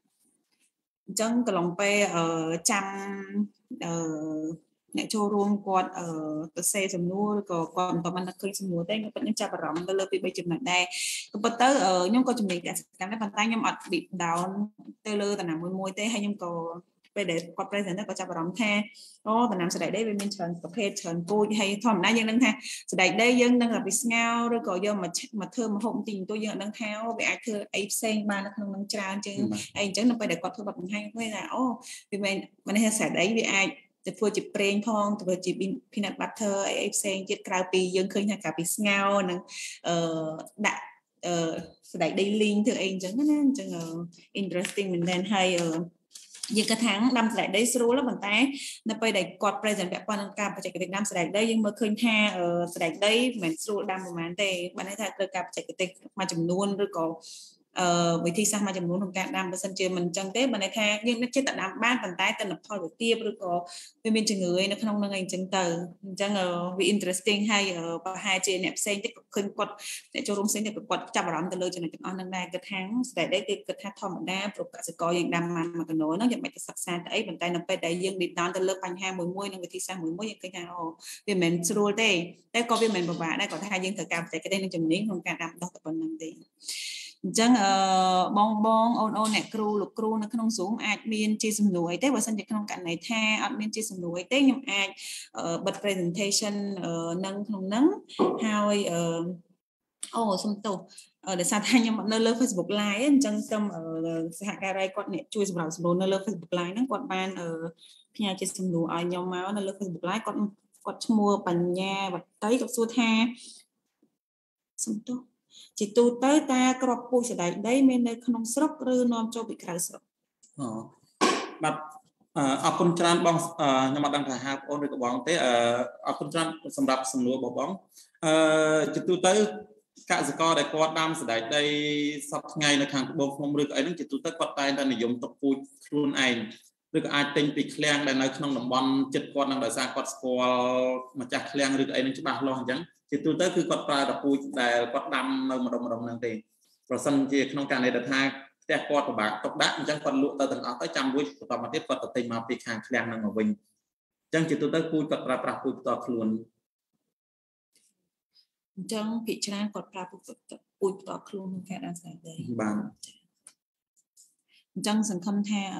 អូនឬក៏បងវត្តៃនៅលើ Facebook Live គាត់អាចទទួលបានចម្លើយណានៅក្នុងករណីថាចម្លើយហ្នឹងនៅតែអត់ទាន់បានទទួលទេឬក៏មានបញ្ហាអីអាចត្រប់បន្តទៀតបន្តពីចប់ប៉ុណ្ណឹងពួកខ្ញុំអាចសម្របសម្រួលជាមួយនឹងទីក្នុងការឆ្លើយសំណួរតក្នុងករណីមានសំណួរខ្ញុំឃើញបងសវឿនគាត់លើកដៃបងបងអាចសួរបានបងអត់ទេខ្ញុំអត់សួរបើខ្ញុំចង់ចូលរួមបន្ថែមដោយសារខ្ញុំធ្វើការងារលើស្ដែកដីច្រើនតាមពិតតកតងការទុកពូជ ជាបទពិសោធន៍ដែលពួកខ្ញុំធ្វើបើសិនជាក្របស្ដែកដីក្រោយពីប្រមូលផលលើសពី3ខែយើងយកទៅដាំការលូតលាស់អត់សូវល្អទេដោយសារវាឡើងប្រេងណាហើយពួកខ្ញុំក៏កំពុងជួបបញ្ហាទៅលើពូជនឹងដូចគ្នាដោយសារអីដោយសារយើងបំដាំនៅក្នុងរដូវវស្សាប៉ុន្តែដល់ទុករដូវវស្សាក្រោយទៀតយើងអាចយកពូជនឹងមកប្រើបានល្អទេដោយសារវាឡើងប្រេង ចឹងវាពាក់ព័ន្ធនឹងពូជហ្នឹងមិនមែនថាយើងអាចទុករយៈពេលយូរហើយយើងមកដាំដូចស្រូវឬអីគឺអត់សូវល្អទេហ្នឹងណាក៏ខ្ញុំចង់ចូលរួមបន្ថែមបាទបាទអរគុណច្រើនបាទអរគុណបងអរគុណច្រើនបងអញ្ចឹងមិនថាឥឡូវចំណេះដឹងយើងកើនបន្តហើយមិនន័យថាពូជសណ្ដែកដីយើងទុកបានត្រឹម3ខែតែលើពី3ខែទៅវាអត់ល្អក្នុងការដាំដុះហើយតែលផលថយចុះឬក៏អាចយើងជំងឺអឺមានអ្នកលើកដៃបន្តិចមានចន្ទថា អឺអាចសួរបានអូនចាជំរាបសួរបងហើយសួស្ដីអឺបងធីហ្នឹងហើយខ្ញុំចង់ថាហើយក៏មានសំណួរមួយពីរដែរអាចភ្ជាប់គ្នាដែរតែជាដំបូងខ្ញុំចង់សួរបងថាតើតើមួយនឹងដំណាំសណ្ដែកដីហ្នឹងដោយឡមុនហ្នឹងខ្ញុំស្ដាប់អត់ទាន់តើតើមួយសណ្ដែកដីហ្នឹងយើងដាំដោយដៃឬក៏ប្រើប្រាស់ម៉ាស៊ីនក្នុងការដាំដែរបងដៃឬម៉ាស៊ីន អឺជាទូទៅអឺបើសិនជាក្នុងករណីដែលគាត់ដាំនៅតំបន់ខ្ពង់រាបដូចនៅខាងអឺបើសិនជាក្នុងករណីដែលគាត់ធ្វើជាចំការធំធំហើយគាត់មានគ្រឿងចាក់ឬក៏គាត់អាចជួលគ្រឿងចាក់គេបានអញ្ចឹងគឺគាត់អាចប្រើអឺត្រាក់ទ័រដើម្បីជួយដាំបានដោយសារតែគាត់មានតាក់ជាមួយនឹងប្រដាប់អឺ អាម៉ាស៊ីនដាំហ្នឹងទៅដល់ពេលអញ្ចឹងគាត់តាក់មួយត្រាក់ទ័រអញ្ចឹងគឺគាត់អាចប្រើហ្នឹងបានក៏ប៉ុន្តែឧទាហរណ៍នៅខាងតំបន់មាត់ទន្លេវិញគឺដោយសារតែដីគាត់តូចតូចដល់ពេលអញ្ចឹងទៅគឺគាត់ប្រើប្រាស់គោយន្តដើម្បីឆោតទៅបន្តមកទៀតគាត់ដើររយគ្រាប់ដូចយើងដាំស្រូវជាជួរជាជួរខ្ញុំអត់ដឹងថាបងបងបងធ្លាប់ឃើញអត់ទេតែគេឆោតហើយបន្តមកទៀតគេដាក់គ្រាប់អញ្ចឹងទៅដល់ពេលគោយន្តវិលមកជុំមកវិញមកអញ្ចឹងវាឆោតលុបខ្លួនឯងយើងអត់ចាំបាច់លុបនឹងដៃទេ ទៅជើងបានតន់បងបងចាត់តកតមួយនឹងខ្ញុំសំណួរភ្ជាប់មួយគ្នានឹងដែរតកតមួយនឹងការដាំដោយម៉ាស៊ីនរវាងការដាំដោយដៃនឹងតើទិន្នផលនឹងវាមានភាពខុសគ្នាមិនដែរអឺពាក់ព័ន្ធជាមួយនឹងខាងចំណុចហ្នឹងតាមពិតពាក់ព័ន្ធជាមួយនឹងទិន្នផលការដាំគឺពេលខ្លះទៅគឺបើថាពាក់ព័ន្ធបើសិនជា វាអាស្រ័យទៅតាមតំបន់ដែរដោយសារតែពេលខ្លះការដាំរបស់យើងធ្វើទៅបើយើងការដាំមួយដោយម៉ាស៊ីនមួយដោយដៃមែនតែពេលខ្លះទៅវាមានកតាចង្រៃអារម្មណ៍អានៅខាងដាំដោយម៉ាស៊ីននោះវាអាចមានកតាចង្រៃច្រើនជាងតែយើងដាំដៃអញ្ចឹងដល់ទៅពេលអញ្ចឹងបើសិនជាក្នុងករណីយើងចង់ប្រៀបធៀបទិន្នផលគឺវារៀងលំបាកតិចដោយសារវាមានកតាច្រើនចូលរួមនៅក្នុងហ្នឹងអញ្ចឹងតន់បងតន់អរគុណច្រើនបងបាទអរគុណចិត្តអរគុណច្រើនចន្ទថាសម្រាប់សំណួរអឺ អឺសូមមកសំណួរចុងក្រោយបើក្នុងករណីថាអឺបងបងអូនអូនលោកគ្រូអ្នកគ្រូនៅក្នុង Zoom ឬក៏ Facebook Live មានសំណួរសូមមកសំណួរចុងក្រោយដើម្បីយើងអាចតទៅ speaker ក្រោយទៀតចឹង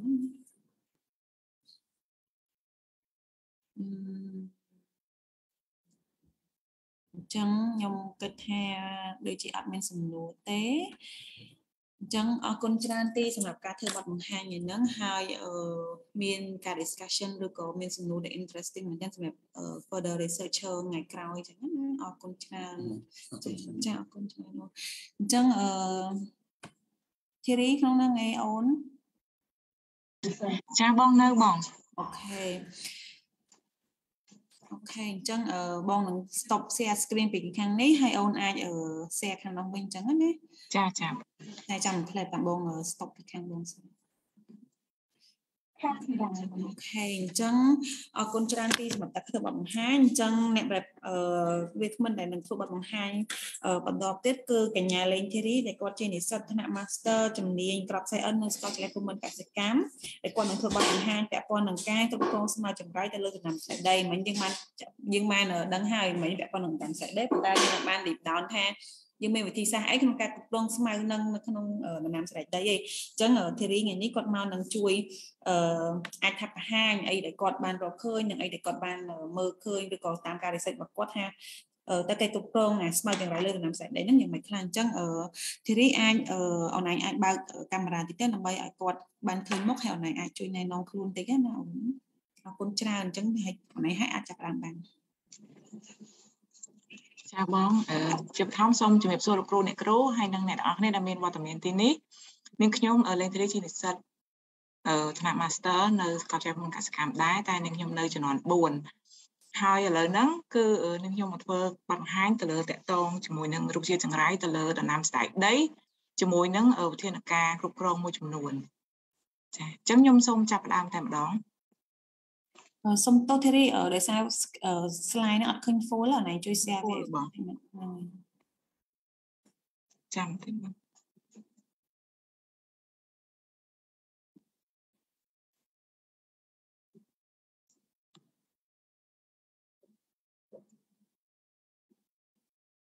ឃើញឃើញពេញទេបងអត់ពេញទេមកអ នឡាញដាក់ screen 2ហ្នឹងបានពេលវានេះហើយវាអត់តែមួយតែមួយទេបងអញ្ចឹងពេញនៅបងមកឃើញហ៎បាទបងនៅខាងនេះឃើញខ្ញុំអត់ឃើញទេអរគុណអញ្ចឹងខ្ញុំសូមចាប់ផ្ដើមតែម្ដងអឺដែលធានបទខ្ញុំថ្ងៃនេះគឺនិយាយអំពីជាតង្រៃហើយនឹងការគ្រប់គ្រងស្មៅនៅក្នុងដំណាំសណ្តែកដី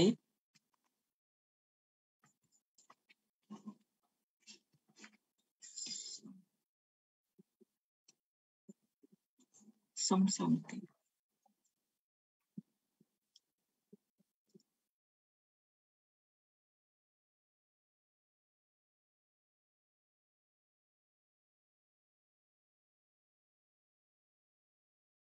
សូមអធិស្ឋានអឺស្លាយខ្ញុំអត់ដើរសូមចាំបន្តិច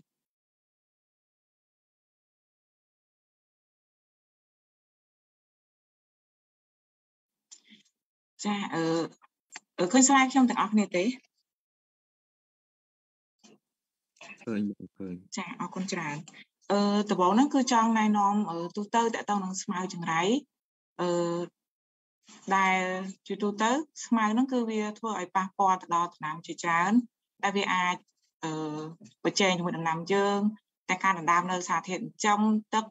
ក៏ដូចជាពន្លឺផងដែរហើយកត្តាទាំងអស់នេះហើយដែលធ្វើធ្វើឲ្យដំណាំរបស់យើងហ្នឹងធ្លាក់ចុះទិន្នផលហើយម្យ៉ាងទៀតសម្រាប់អឺ ការចំណាយលើការគ្រប់គ្រងស្មៅហ្នឹងវាធ្វើឲ្យយើងចំណាយខ្ពស់អញ្ចឹងហើយអាថ្លៃដើមផលិតកម្មយើងហ្នឹងក៏វាច្រើនដែរម្យ៉ាងទៀតស្មៅក៏វារំខានដល់ការប្រមូលផលដែរក្នុងករណីខ្លះឧទាហរណ៍ថាជាទូទៅបើយើងដំណាំមួយចំនួនដូចជាស្រូវនៅពេលដែលយើងប្រមូលផលមកនៅពេលដែលមានដោយក្របស្មៅឬក៏រុក្ខជាតិចង្រៃផ្សេងៗមកអញ្ចឹងយើងត្រូវការ សម្អាតវាម្ដងទៀតដូចជាការផ្លុំការបក់អញ្ចឹងទៅអាហ្នឹងក៏វាធ្វើឲ្យយើងចំណាយដែរហើយសម្រាប់ករណីសណ្ដែកដីយើងផ្ទាល់ក៏វាអាចមានកត្តាមួយចំនួនដូចជាពេលខ្លះនៅពេលដែលមានស្មៅច្រើននៅជាមួយដំណាំយើងហ្នឹងនៅពេលដែលយើងដកវាមកវាអាស្មៅដែលឬវាចាក់ចូលជាមួយអឺផ្លែសណ្ដែកដីនៅក្នុងដីហ្នឹងគឺវាតាក់អញ្ចឹងហើយដកមកវាវាអាចដាច់ផ្លែសណ្ដែកដីនៅក្នុងដីអញ្ចឹងយើងប្រមូលផលមកវាអត់អាចបាន ផ្លែសណ្ដែកដីទាំងអស់ទេអឺដូចនេះហើយទើបអឺការគ្រប់គ្រងស្មៅគឺវាជាកត្តាសំខាន់ ការគ្រប់គ្រងស្មៅបានល្អពីដើមទីហ្នឹងគឺវាជួយបង្កើនអឺមានន័យថាវាអត់ធ្វើឲ្យយើងបាត់បង់ទិន្នផលទេហើយក៏ជួយបង្កើនប្រាក់ចំណូលរបស់កសិករផងដែរ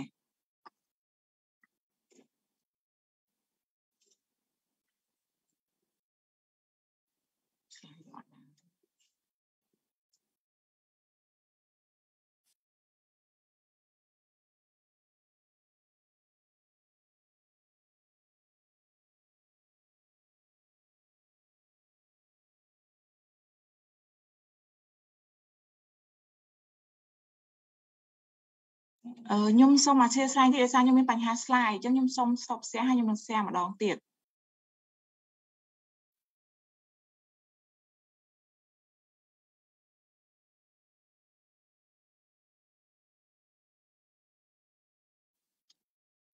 អឺ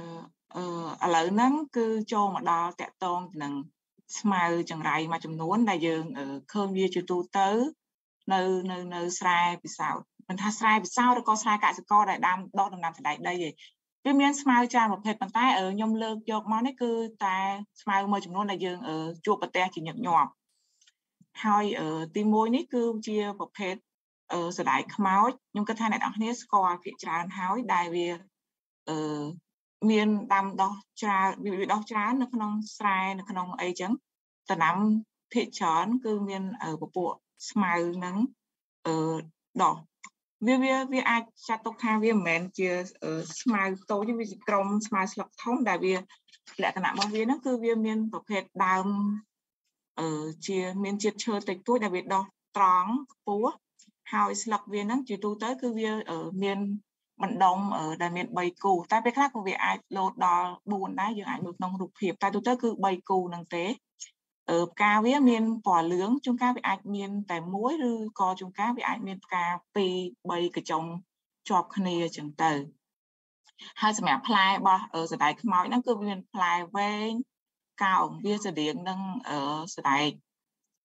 ផ្សេងផ្សេងដែរស្តៀងនឹងសណ្តែកសៀងដែរប៉ុន្តែផ្លែនេះគឺវាផ្លែប្រភេទមូលកោងវែង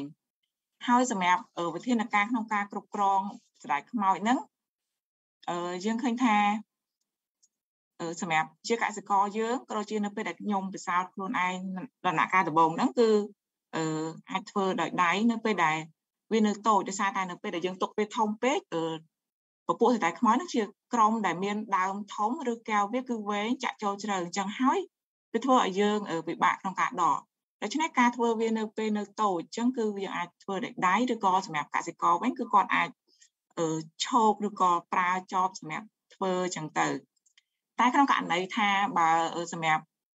ការដាំដុះទ្រង់ទ្រាយធំអឺពួកគាត់អាចខ្វះកម្លាំងពលកម្មឬក៏អត់ចង់ចំណាយច្រើនលើកម្លាំងពលកម្មសម្រាប់ធ្វើអញ្ចឹងគាត់អាចប្រើប្រភេទថ្នាំស្មៅដែលអាចមានជាពពួក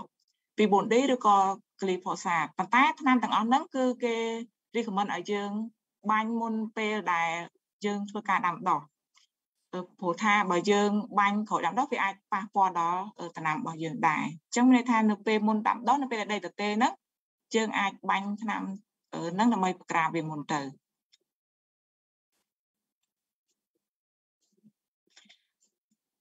ទី2គឺជាក្រុមស្លឹកធំដែរដែលយើងស្គាល់ថាវាជាទន្ទ្រាំងបាយសញី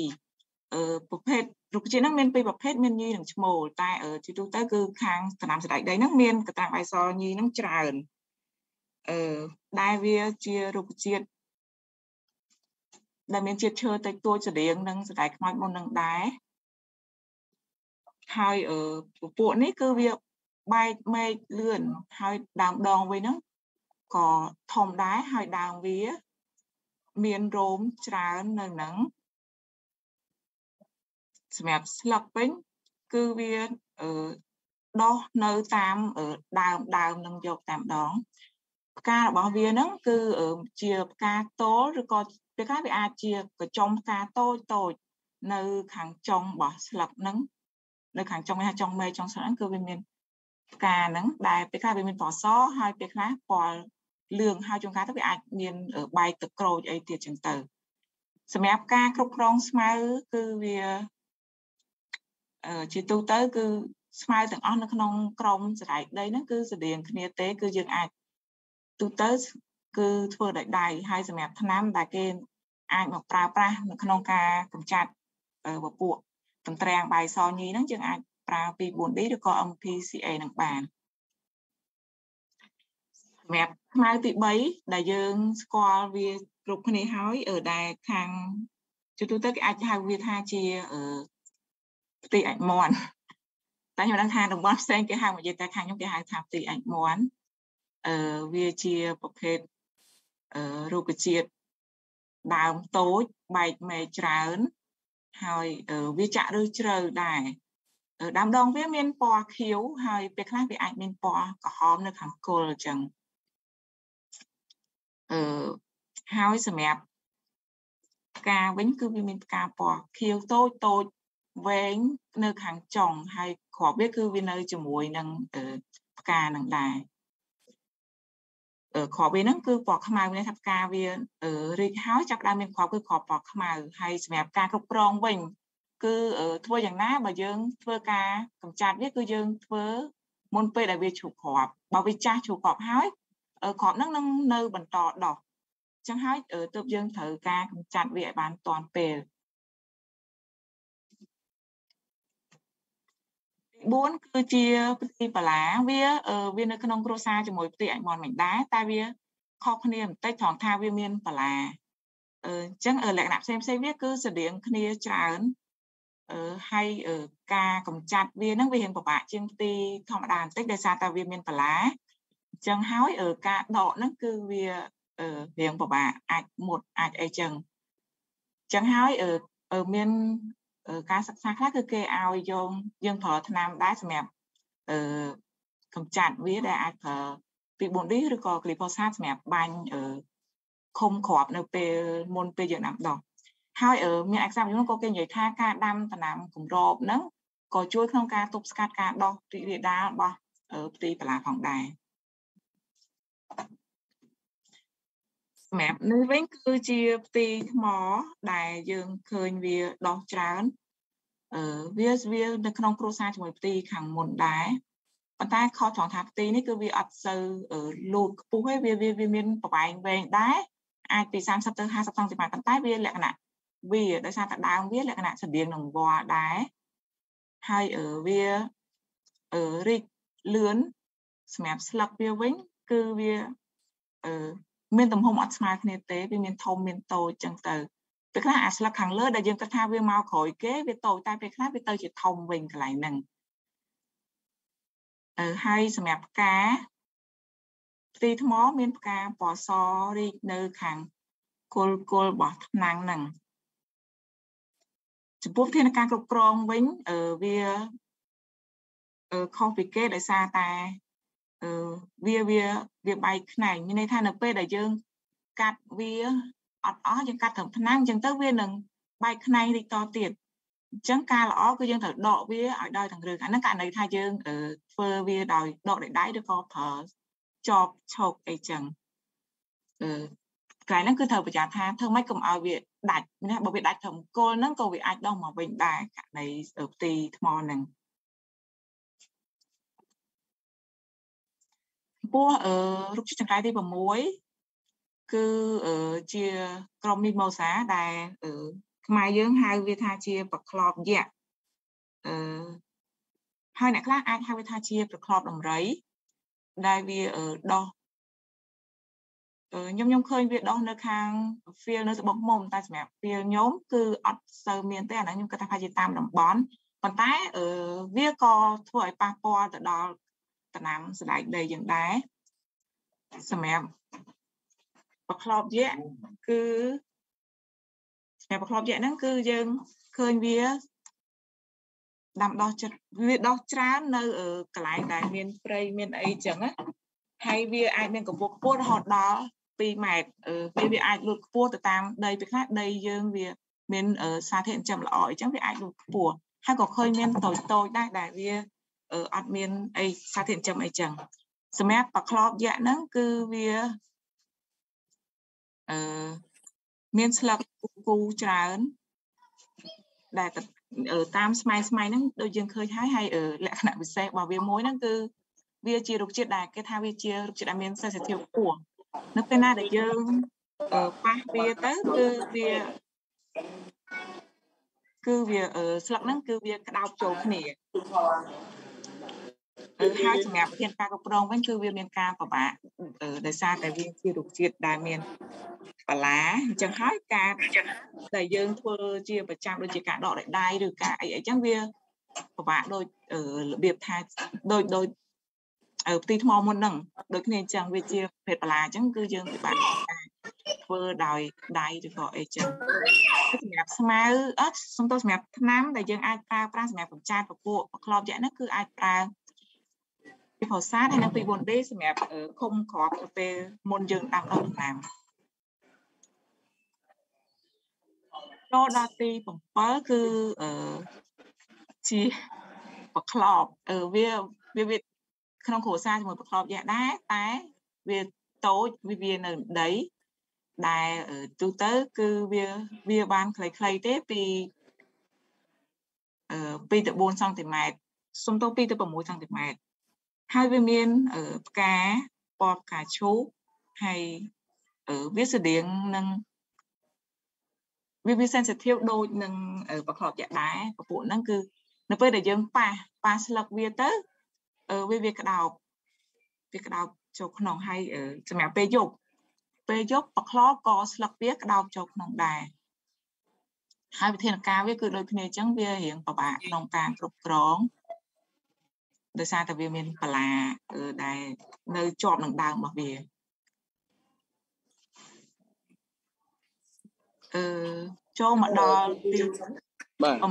8គឺជាពេញប៉ោះស្រោមអ្នកខ្លះគាត់ថាវាវាមិនមែនជារុក្ខជាតិចង្រៃទេព្រោះអីតំបន់ខ្លះអឺឃើញគេអាចយកបរិភោគហើយខ្ញុំឃើញមួយចំនួនទៀតគឺគេអាចយកទៅលក់ទៀតអញ្ចឹងគាត់ថាវាមិនមែនជារុក្ខជាតិចង្រៃប៉ុន្តែសម្រាប់នៅក្នុងដំណាំសណ្តែកដី ដោយសារតែយើងអត់ត្រូវការវាទេអញ្ចឹងយើងក៏ចាត់ថ្នាក់វាថាវាជារុក្ខជាតិចង្រៃអឺដែលដូចយើងស្គាល់ច្រើនហើយផោះស្រោមហ្នឹងអឺគឺវាមានផ្លែនៅក្នុងស្រោមវាដែលមានរាងដូចជាបាល់ចឹងហើយសម្រាប់ផ្កាវាវិញក្នុងអ្នកមានផ្កាទេប៉ុន្តែខ្ញុំឃើញថាផ្កាវាគឺមានរាងអឺចេញជា5ជ្រុងដូចផ្កាយចឹងហើយមានពណ៌លឿងឬក៏ពេលខ្លះអាច បែកពណ៌ទឹកក្រូចអីចឹងទៅសម្រាប់ផ្លែពេលខ្ចីគឺមានពណ៌ខៀវហើយនៅពេលដែលវាទុំទៅអាចពណ៌លឿងខ្ញុំអត់ដឹងថាមានអ្នកណាធ្លាប់ញ៉ាំវាឬអត់ទេតែកាលពីក្មេងៗខ្ញុំធ្លាប់ញ៉ាំវាគឺវាជូរអីចឹងណាហើយសម្រាប់វិធានការគ្រប់គ្រងអឺគឺអាចអឺ ដកវាដោយដៃឬក៏យើងគ្រប់គ្រងវាមុនពេលយើងមានន័យថាយើងយើងប្រើថ្នាំសម្រាប់គ្រប់គ្រងវាមុនពេលដែលយើងដាំដុះថ្នាំប៉ុន្តែចំពោះរុក្ខជាតិមួយខ្ញុំឃើញថាសម្រាប់កន្លែងខ្ញុំសោកតគឺវារៀងអឺស្រួលទោះវាធំក៏វារៀងស្រួលដកដែរដោយសារតែវាអត់អត់សូវ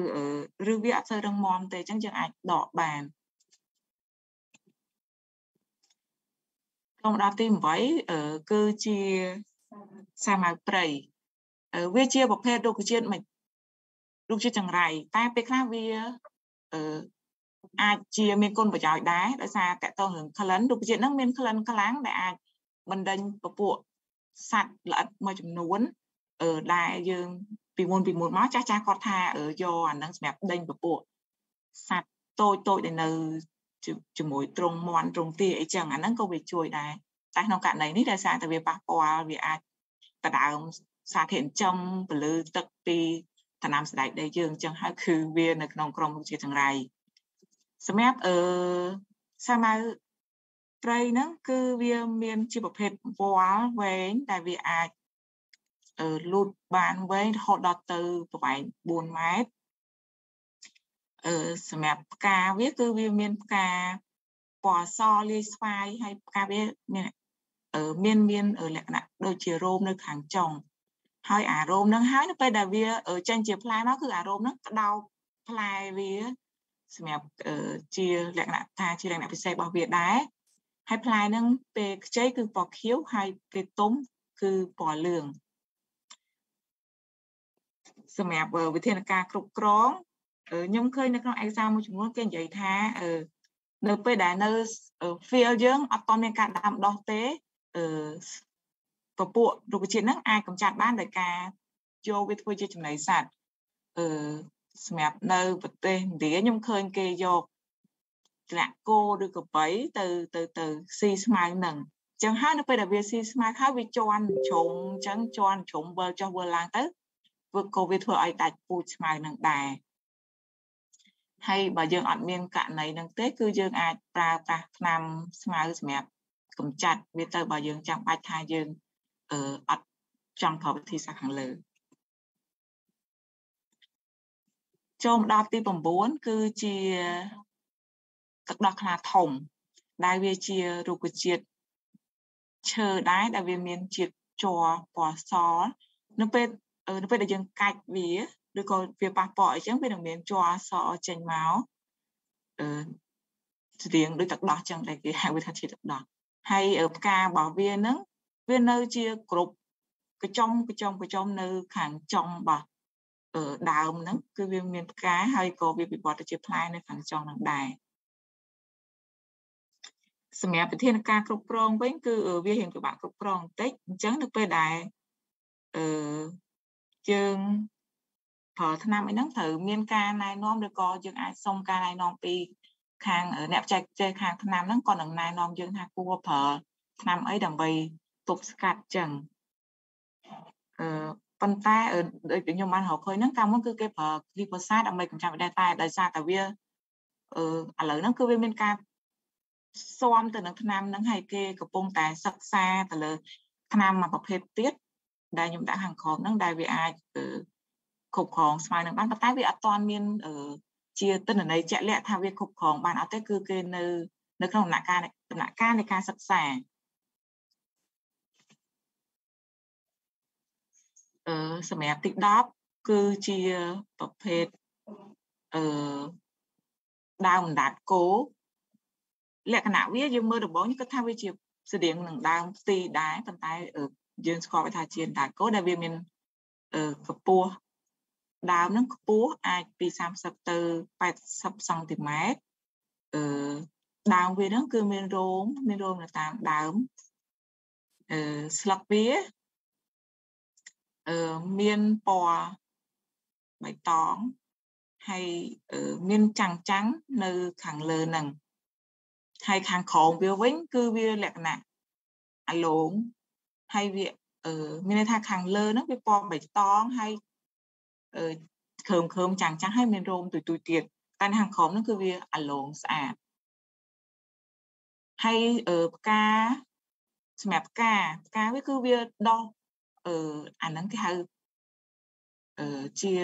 តងតងមកវិញហើយមានកញ្ចុំផ្កានៅខាងលើតូចតូចតូចតូចដែលវាអឺអឺមានពណ៌ពីស្វាយដេញរហូតទៅដល់សសម្រាប់ធានការគ្រប់គ្រងវិញអឺ វាគឺងាយស្រួលដោយសារតែវាជាប្រភេទរុក្ខជាតិដែលអឺមានឬវាអត់សូវមាំទេអញ្ចឹងយើងអាចគ្រប់គ្រងដោយដៃបានងាយស្រួលដោយពពួកក្រុងផ្ទីអឺផ្ទីផ្ទីអាចមន់អឺហើយសម្រាប់បើយើងចង់ប្រើប្រាស់ថ្នាំវិញគឺអឺទូទៅគឺអាចប្រើពីមុននេះនិងគីបូសាត ដើម្បីអឺកំចាត់គ្រប់គ្រងវានៅពេលមុនយើងដាំដុះសម្រាប់មួយទៀតគឺយើងអាចប្រើប្រាស់ពពួក cover crop សម្រាប់ដាំដែរនៅពេលដែលយើងដាំ cover crop ពេញទៅពួកអណ្ដាតគោនោះគឺវាអត់អាចដុះមកបានទេអឺឥឡូវនេះចូលមកដល់ក្រុមកក់អឺដែលយើងឃើញថាវាជាអឺកវាញ់ជ្រូកអឺ សម្រាប់ការពិសោធន៍របស់ខ្ញុំផ្ទាល់គឺប៉ះពាល់កវាញ់ជ្រូកនឹងខ្លាំងមែនតើវាវាវាមានការប្របាយខ្លួនលឿនមានន័យថាដោយសារតែវាជាជាមើមនៅក្នុងដីហើយកូនកូនដើមហ្នឹងគឺវាដោះតពីអាមើមមេហ្នឹងហើយទៅវាក៏ចាក់អឺដូចជាបលួញហើយវាបរិចកូនវានៅក្នុងដីហើយបានវាចេញមកលើហើយអឺសម្រាប់ការគ្រប់គ្រងវិញគឺវារៀងពិបាក ដោយសារតែនៅពេលដែលយើងដកដៃឬក៏នៅពេលដែលយើងប្រើចោពីកកវិតកាត់អីចឹងទៅវាអត់ដោយអាមើមវានឹងមកឯងអញ្ចឹងទៅវាអឺនៅតែបន្តដោះមកអញ្ចឹងហើយអឺអាហ្នឹងគឺគេ recommend ខ្លាំងឲ្យយើងប្រើឆ្នាំសម្រាប់កម្ចាត់វាដែលយើងអាចប្រើ glyphosate ហ្នឹងអឺបាញ់វាអឺ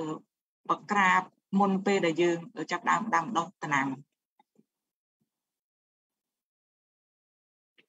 ហើយចំពោះរុក្ខជាតិចង្រៃចុងក្រោយដែលយើងឃើញច្រើនហ្នឹងគឺវាជាប្រភេទវល្លិដែលជួយយើងហៅវាថាជាវល្លិម្លឹបអឺវាជាប្រភេទវល្លិដើមវែងដែលអាចមានប្រវែងរហូតដល់3ម៉ែត្រតែដើមវាតូចតូចទេអឺអាចត្រឹម3មីលីម៉ែត្រហ្នឹងទំហំដើមវាតូចប៉ុន្តែវាមានប្រវែងវែងហើយអឺវល្លិហ្នឹងរៀងស្វិតខ្លាំង ករណីខ្ញុំផ្ទាល់ហ្នឹងគឺខ្ញុំដកវាគឺវារុំជាប់ជាមួយនឹងដើមសណ្ដែកហ្នឹងព្យាយាមដោះវាបន្តិចម្ដងរៀងបើពួកវាស្វិតខ្លាំងនៅពេលដែលយើងដកវាខ្លាំងវាអត់ដាច់ដើមវល្លិទេវាទៅដាច់ដើមសណ្ដែកដីយើងវិញអញ្ចឹងគឺវាផលប៉ះពាល់ខ្លាំងទៅដល់សណ្ដែកយើងហើយសម្រាប់រឹសវាវិញក៏វារឹងមាំដែរឬវា ចាក់ជ្រៅដែរអញ្ចឹងហើយអាដកឬហ្នឹងក៏នៅរៀងពិបាកដែរអញ្ចឹងការប្រើប្រាស់ថ្នាំមួយចំនួនហ្នឹងក៏អាចជួយដល់ការគ្រប់គ្រងពួកវល្លិនេះដែរអឺ slide ខ្ញុំមានតែប៉ុណ្្នឹងទេអឺដោយសារតែយើងឃើញថាសម្រាប់តំណាំសណ្ដែកដីហ្នឹងគឺស្មៅគឺមានច្រើនប៉ុន្តែបើយើងបានគ្រប់គ្រងវាពីដំបូងគឺវាអត់ ប៉ះពាល់ខ្លាំងទេហើយវាក៏ជាវាវាជាកត្តាមួយដែលប៉ះពាល់ទៅដល់ទិន្នផលដំណាំដែរតែវាជាកត្តាតូចមួយវាវាអត់ខ្លាំងដល់អត់ខ្លាំងដូចជំងឺនិងសារធាតុចាំទេប៉ុន្តែយើងត្រូវតែគ្រប់គ្រងវាដើម្បីកុំឲ្យវាវាលុបទៅលើដំណាំយើងច្រើនហើយជាទូទៅសម្រាប់ការសិក្សាហ្នឹងសម្រាប់ខ្ញុំសិក្សាផ្ទាល់ក៏ដូចជាជាកសិករយើងទូទៅស្មៅហ្នឹងគឺយើងអាច ធ្វើដោយដៃហើយសម្រាប់កសិករនៅតំបន់មួយចំនួនអឺគាត់ប្រើកម្លាំងពលកម្មមានន័យថានៅអាចនៅសប្តាហ៍ទី2ឬទី3អញ្ចឹងគាត់ចាប់ដើមធ្វើស្មៅគាត់ឈោកជើងវាហើយគាត់ដាក់ជីតែម្ដងអញ្ចឹងចំណេញពេលគាត់អាចសម្អាតស្មៅហើយហើយដាក់ជីទៅដល់ដំណាំសណ្ដែកដីបានទៀតហើយគាត់អាចធ្វើម្ដងទៀតនៅពេលដែលគាត់ឃើញថាដំណាំសណ្ដែកដីគាត់ហ្នឹងត្រូវការជីទៀតចឹងគឺគាត់អាចធ្វើអញ្ចឹងម្ដងទៀតហើយ ស្មៅហ្នឹងគឺវានឹងអាចកាត់បន្ថយទៅតាមហ្នឹងឯងហើយខ្ញុំមានតែប៉ុណ្្នឹងទេបើមានសំណួរឬក៏ចម្ងល់អីលោកគ្រូអ្នកគ្រូឬក៏អ្នកនេះអាចសួរខ្ញុំបានអរគុណច្រើនអរគុណច្រើនធីរីសម្រាប់ការធ្វើបទបង្ហាញពាក់ព័ន្ធនឹងនឹងការគ្រប់គ្រងស្មៅចម្រៃទៅលើដំណាំស្រែដីអឺយើងមើលឃើញថាអឺ យើងបើសិនជាយើងជាបើសិនជាយើងមិនមែនជាអ្នកវិទ្យាសាស្ត្រឬក៏អ្នកស្រាវជ្រាវយើងយល់ថាស្មៅចង្រៃអីឃើញតំណាំប្រមាណខ្លះហ្នឹងដូចផ្ទីដូចអីហ្នឹងដកស្លញ៉ាំហ្នឹងវាមានចង្រៃអីប៉ុន្តែនៅពេលដែលយើងដាំដុះឬក៏អីដែលបំផ្លាញទៅលើដំណាំគូដែលយើងដាំដុះវាអាចជាតិស្មៅបញ្ហាវាអត់មានប្រយោជន៍ប្រយោជន៍អីទៅលើដំណាំយើងវាទៅជាស្មៅចង្រៃអញ្ចឹងណាចឹងតែបើសិនជាអ្នកដែល គាត់មិនមែនជាអ្នកស្រាវជ្រាវឬក៏អឺកសិករគាត់យល់ថាហ្នឹងស្ទីហ្នឹងវាស្មៅចង្រៃអីគាត់បានហូបគ្រួសារហ្នឹងគាត់ជឿលើអញ្ចឹងហើយយើងមើលឃើញថា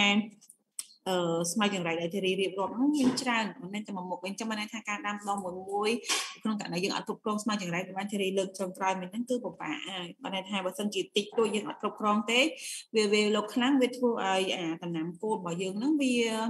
លូតលាស់ឲ្យល្អវាស្រូបសារធាតុចិញ្ចឹមអត់គ្រប់គ្រាន់ហើយវាអត់មាន space ច្រើនសម្រាប់ការលូតលាស់របស់វាអីចឹងដែរអញ្ចឹងវាក៏ថយទិន្នផលទៅតាមនឹងដែរអញ្ចឹងអឺស្មៅចង្រៃស្ដាប់មើលទៅរឿងតិចតួចប៉ុន្តែបើយើងអត់ធ្វើវាវាទៅជារឿងធំដុំនៅពេលដែលវាច្រើនឡើងអញ្ចឹងអឺខ្ញុំគិតថាបើសិនជាលោកគ្រូអ្នកគ្រូបងបងអូនអូននៅក្នុង Zoom ឬក៏នៅក្នុង Facebook Live មានជាសំណួរអីចោតទៅខាងវាគ្មិនយើងធីរីអាចលើកឡើង អាចត្រាប់ជាក្នុង message ក្នុងករណីថាអត់ហ៊ាននិយាយទេប៉ុន្តែក្នុងករណីថាអាចនិយាយទៅវា detail ជាងអញ្ចឹងអាចជួយបើក microphone ទៅអាចនិយាយតទល់ជាមួយធីរីអញ្ចឹងណាអាចគាត់ជួយបកស្រាយបន្ថែមទៅលើចំណុចណាដែលគ្រូអ្នកគ្រូឬក៏បងបងអូនៗដែលនៅក្នុង Zoom ឬក៏ Facebook Live អត់ទាន់បានច្បាស់លាស់កន្លែងណាអញ្ចឹងណាមានទេ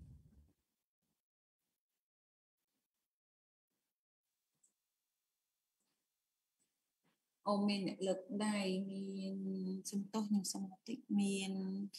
អញ្ចឹងដោយសារថានេះវាអត់លោតលេខរៀងខ្ញុំអត់ដឹងថាមួយណាលើកមុនប៉ុន្តែខ្ញុំមើលតាមរបស់ខ្ញុំឃើញមានចន្ទាបន្ទាប់ពីចន្ទាហើយមានអឺបងសុផលហើយខ្ញុំមិនខ្ញុំឃើញលោកគ្រូកុំអៀងលើកដៃឥឡូវឃើញគាត់តម្លាក់ចូលវិញបានហើយអត់តន់អូខេអញ្ចឹងអឺ អញ្ចឹងអាចចាប់ពីចាប់ដើមពីចន្ទាទៅហើយបន្ទាប់មកសុផលហើយលោកគ្រូធោកំអៀងចាអរគុណបងសួស្ដីបងថេរីអឺហ្នឹងហើយតាមពិតចង់គ្រាន់ឲ្យបងជួយបញ្ជាក់បន្តិចអញ្ចឹងណាដោយដែលបងបានលើកឡើងជាហោហែមកការគ្រប់គ្រងកតាស្មៅចង្រៃហ្នឹងវាមានច្រើនអញ្ចឹងទៅហើយក្នុងនោះដែរក៏ឃើញបងបានលើកតកតងមួយនឹង cover crop ដែលយើងហៅថាកំណាំគម្របអីចឹងណាអញ្ចឹងចង់ឲ្យបងជួយបញ្ជាក់បន្តិចថាការដែលយើងគ្រប់គ្រងស្មៅស្មៅចង្រៃតាមរយៈការដាំដំណាំគម្របហ្នឹងតើវាមានអត្តពលអីគេដល់ទិន្នផលសណ្ដែកយើងអីដែរអត់ហើយប្រភេទដំណាំគម្របមួយណាដែលវាសមស្របសម្រាប់សណ្ដែកដីយើងអញ្ចឹងណាបងអរគុណចាអរគុណចំថាសម្រាប់សំណួរអឺសម្រាប់ករណី cover crop ហ្នឹង ខ្ញុំអត់សិក្សាទេប៉ុន្តែតាមដឹងមួយចំនួនហ្នឹងពពួកខ្វក់ក្របដូចយើងបានដឹងដូចជាសានហែមឬក៏ពពួកអារ៉ាហ្គីអីហ្នឹងនៅពេលដែលយើងដាំទៅវាវាមិនត្រឹមតែជួយទប់ស្កាត់ការដោះស្មៅទេវាជួយទប់ស្កាត់ការបំភាយឬក៏ឲ្យសម្រាប់ករណីសំខាន់ហ្នឹងគឺពពួករុក្ខជាតិគម្របអស់ហ្នឹងវាផ្ដល់នៅសារធាតុចិញ្ចឹមជាច្រើនទៅដល់ដីទៀតហើយអញ្ចឹងហើយវាអាចជួយជាសារធាតុចិញ្ចឹមបន្ថែមទៅដល់ ដំណាំយើងផងដែរអឺចឹងហើយដែលយើងគិតថាដំណាំ cover crop ហ្នឹងគឺវាមានសារៈសំខាន់មែនតើបើយើង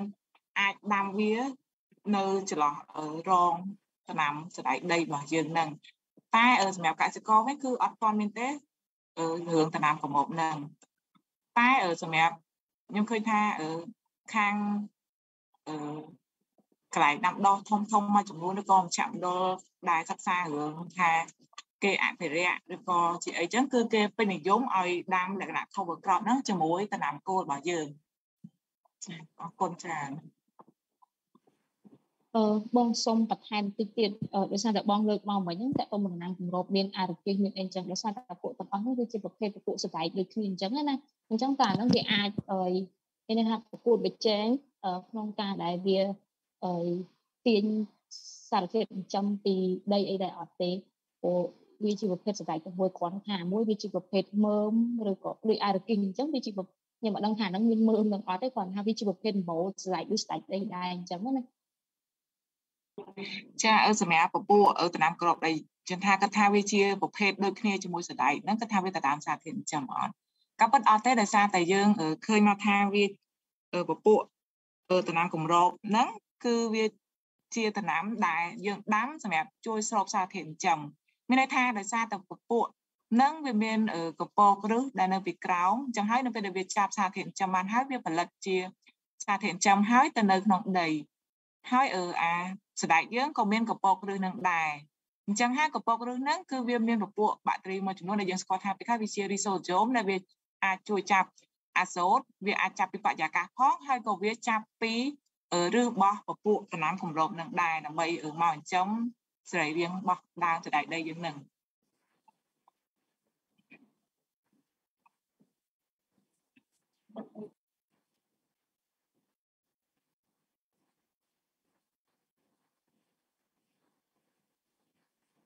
ចាំថាទទួលបានទេហើយទទួលបានប៉ុន្តែដូចនៅអត់ទាន់ច្បាស់កន្លែងនឹងឡើយអូខ្ញុំគាត់ចង់បញ្ជាក់កន្លែងហ្នឹងថាសម្រាប់អឺពពួក cover crop ហ្នឹងទូទៅនៅពេលដែលគេ recommend ហ្នឹងដោយសារតែវាជាប្រភេទរុក្ខជាតិដែលអាចជួយសម្រាប់អឺដំណាំគោលយើងចាប់យកសារធាតុចិញ្ចឹមពពួកអស់ហ្នឹងគឺវាអត់ដដើមសារធាតុចិញ្ចឹមពីដំណាំគោលទេបញ្ជាក់កន្លែងហ្នឹងតិចអឺមានគេបានបង្ហាញតកតងនឹងនឹងការអីបងព្រោះអឺដូចជាពេលខ្លះអញ្ចឹង គេហៅថាប្រភេទសម្ដែងអញ្ចឹងធម្មតាវាត្រូវការគេហៅថាចេះអាចទាំងត្រង់ស្វាអីអញ្ចឹងវាជាប្រភេទអឺតំណាំសម្រាប់វាក្របក្របឲ្យវាមានផ្លែមានអីចឹងណាហើយអាហ្នឹងវាអាចឲ្យអាក្នុងក្របរបស់វាហ្នឹងក៏វាតាក់ទាញដឹកទៅអីដែរអញ្ចឹងអាហ្នឹងវាអាចអឺតាក់ទាញដង្កូវអីមកពីតំណាំមើមសម្ដែងយើងអីដែរ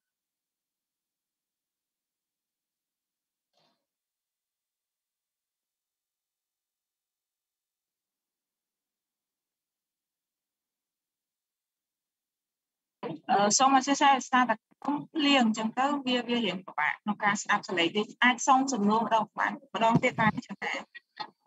អូខេខាងនេះភ្លៀងដែរនឹងស្ដាប់អត់សូវបានដូចគ្នាហើយខ្ញុំចង់សួរថាអញ្ចេះដោយសារតែដូចជាវាវាប្រភេទសដែកដូចគ្នាធម្មតាអឺ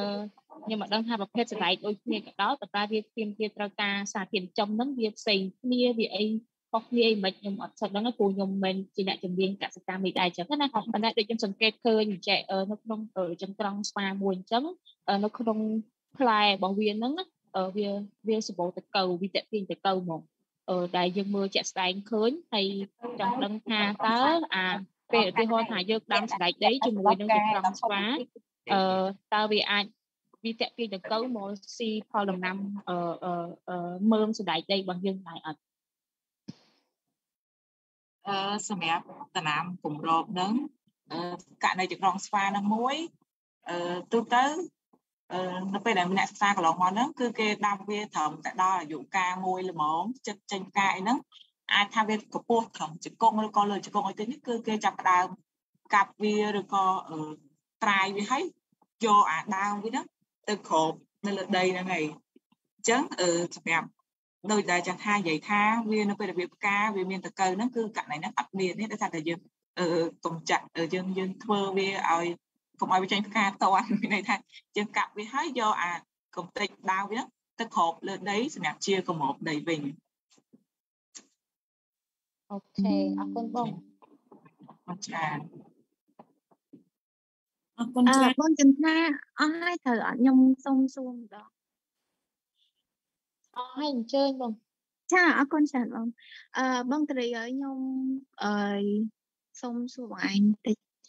អឺខ្ញុំចង់សួរថាតើតកតងជាមួយនឹង field ជាក់ស្ដែងរបស់បងឯងហ្នឹងតើធ្លាប់ជួបប្រទះជាមួយនឹងរុក្ខជាតិអឺដែលយើងហៅថារុក្ខជាតិចង្រៃហ្នឹងគ្រប់អ្វីដែលបងធ្វើបទបង្ហាញអត់ហើយចង់សួរថាតើនៅពេលដែល field ជាក់ស្ដែងរបស់បងហ្នឹងតើបង control វាដូចម្ដេចដែរអញ្ចឹងណាបង ចាអរគុណសុផលសម្រាប់សំណួរអឺសម្រាប់ករណីរូបជាតិចង្រៃវាមាន